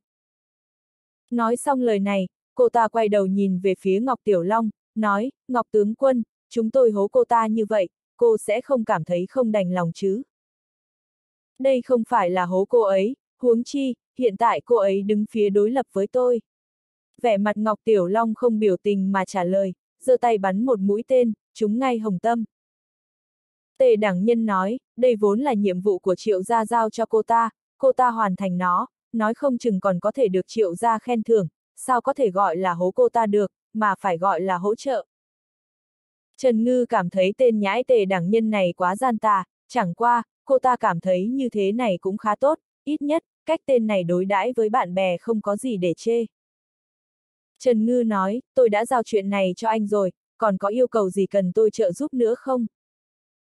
Tạm thời không có chuyện gì, trong quá trình này Trần gia càng ít nhúng ta vào càng tốt, miễn cho bị cha ra dấu vết để lại. Tề đẳng nhân nhàn nhạt nói. Ngọc Tiểu Long nói, tôi không có ý kiến gì, nhưng tôi cảm thấy, hai người có phải hơi đánh giá thấp từ ngạo tuyết quá rồi hay không? Tề đẳng nhân quay đầu, nghiêm túc nhìn cô, nói, từ ngạo tuyết là do tôi phụ trách, cho dù cô ta có bỏ lên cao như thế nào, tôi cũng có thể bắt cô ta lại, kéo xuống.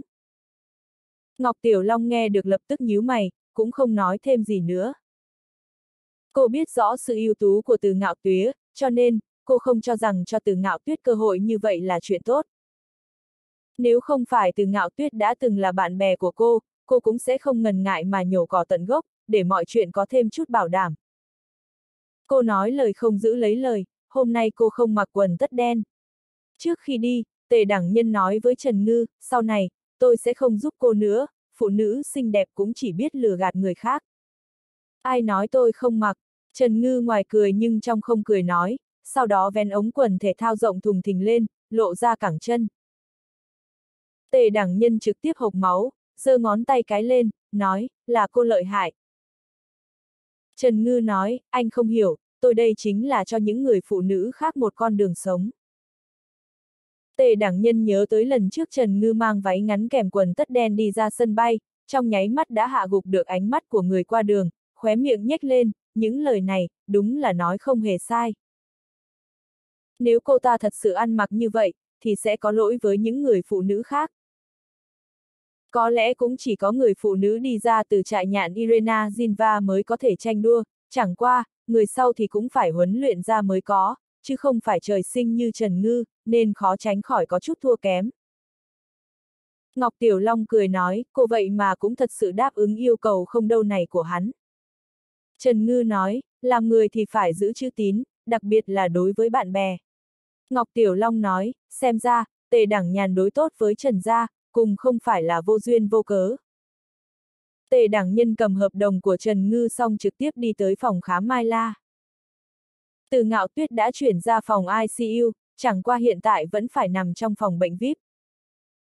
Phòng bệnh VIP này trang hoàng giống như một phòng nhỏ trong khách sạn, rất cao cấp và trang nhã, không phải người không có lai lịch thì không thể ở trong này. Phòng khám Mai La rất có danh tiếng, hiện tại người tới xếp hàng khám bệnh nối liền không dứt, hơn nữa có không ít người là nhân vật nổi tiếng. Thể trạng của từ ngạo tuyết đã tốt hơn rất nhiều, chỉ là sắc mặt vẫn còn hơi tái nhợt.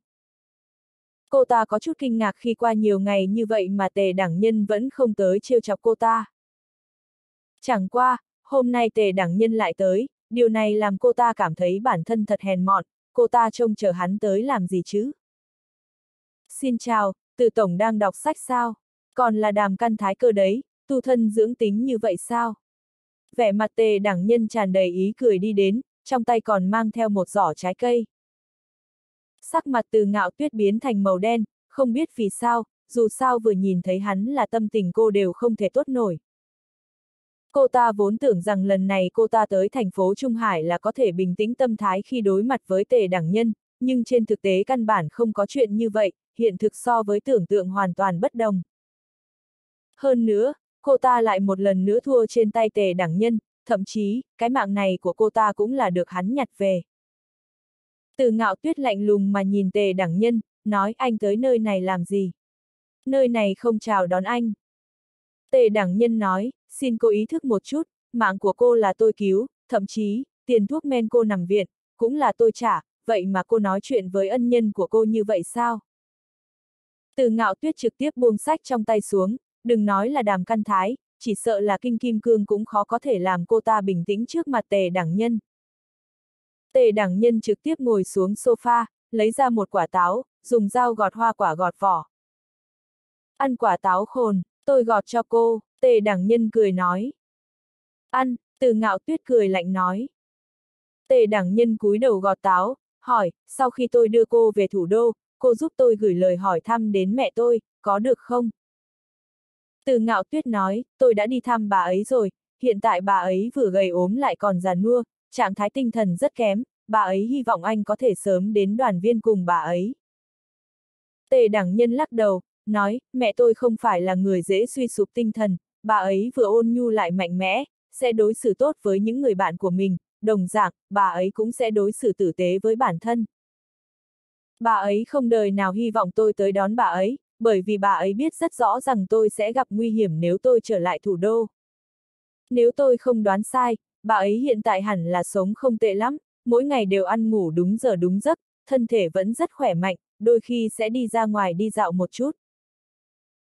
Từ ngạo tuyết ngạc nhiên, nói anh nói không sai, bà ấy đúng là sống không tệ lắm, thậm chí còn bảo anh không nên vội vàng trở lại thủ đô. Tề đẳng nhân tức khắc bật cười, nói tôi biết ngay mà, cho nên, cô không lừa được tôi đâu. Từ ngạo tuyết đáp lại, không thể không nói, bà ấy là đúng là một người dịu dàng, ở chung với bà ấy thôi cũng cảm thấy bản thân như được tắm mình trong gió xuân. Thật không tưởng tượng nổi, bà ấy như thế sao lại sinh ra một tên khốn nạn như anh nữa.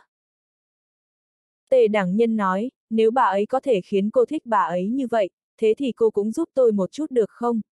Giúp một nhà chúng tôi sớm ngày đoàn tụ, chẳng lẽ không phải là một chuyện tốt sao? Từ ngạo tuyết lạnh mặt không nói gì, hiển nhiên, cô ta căn bản khinh thường trả lời.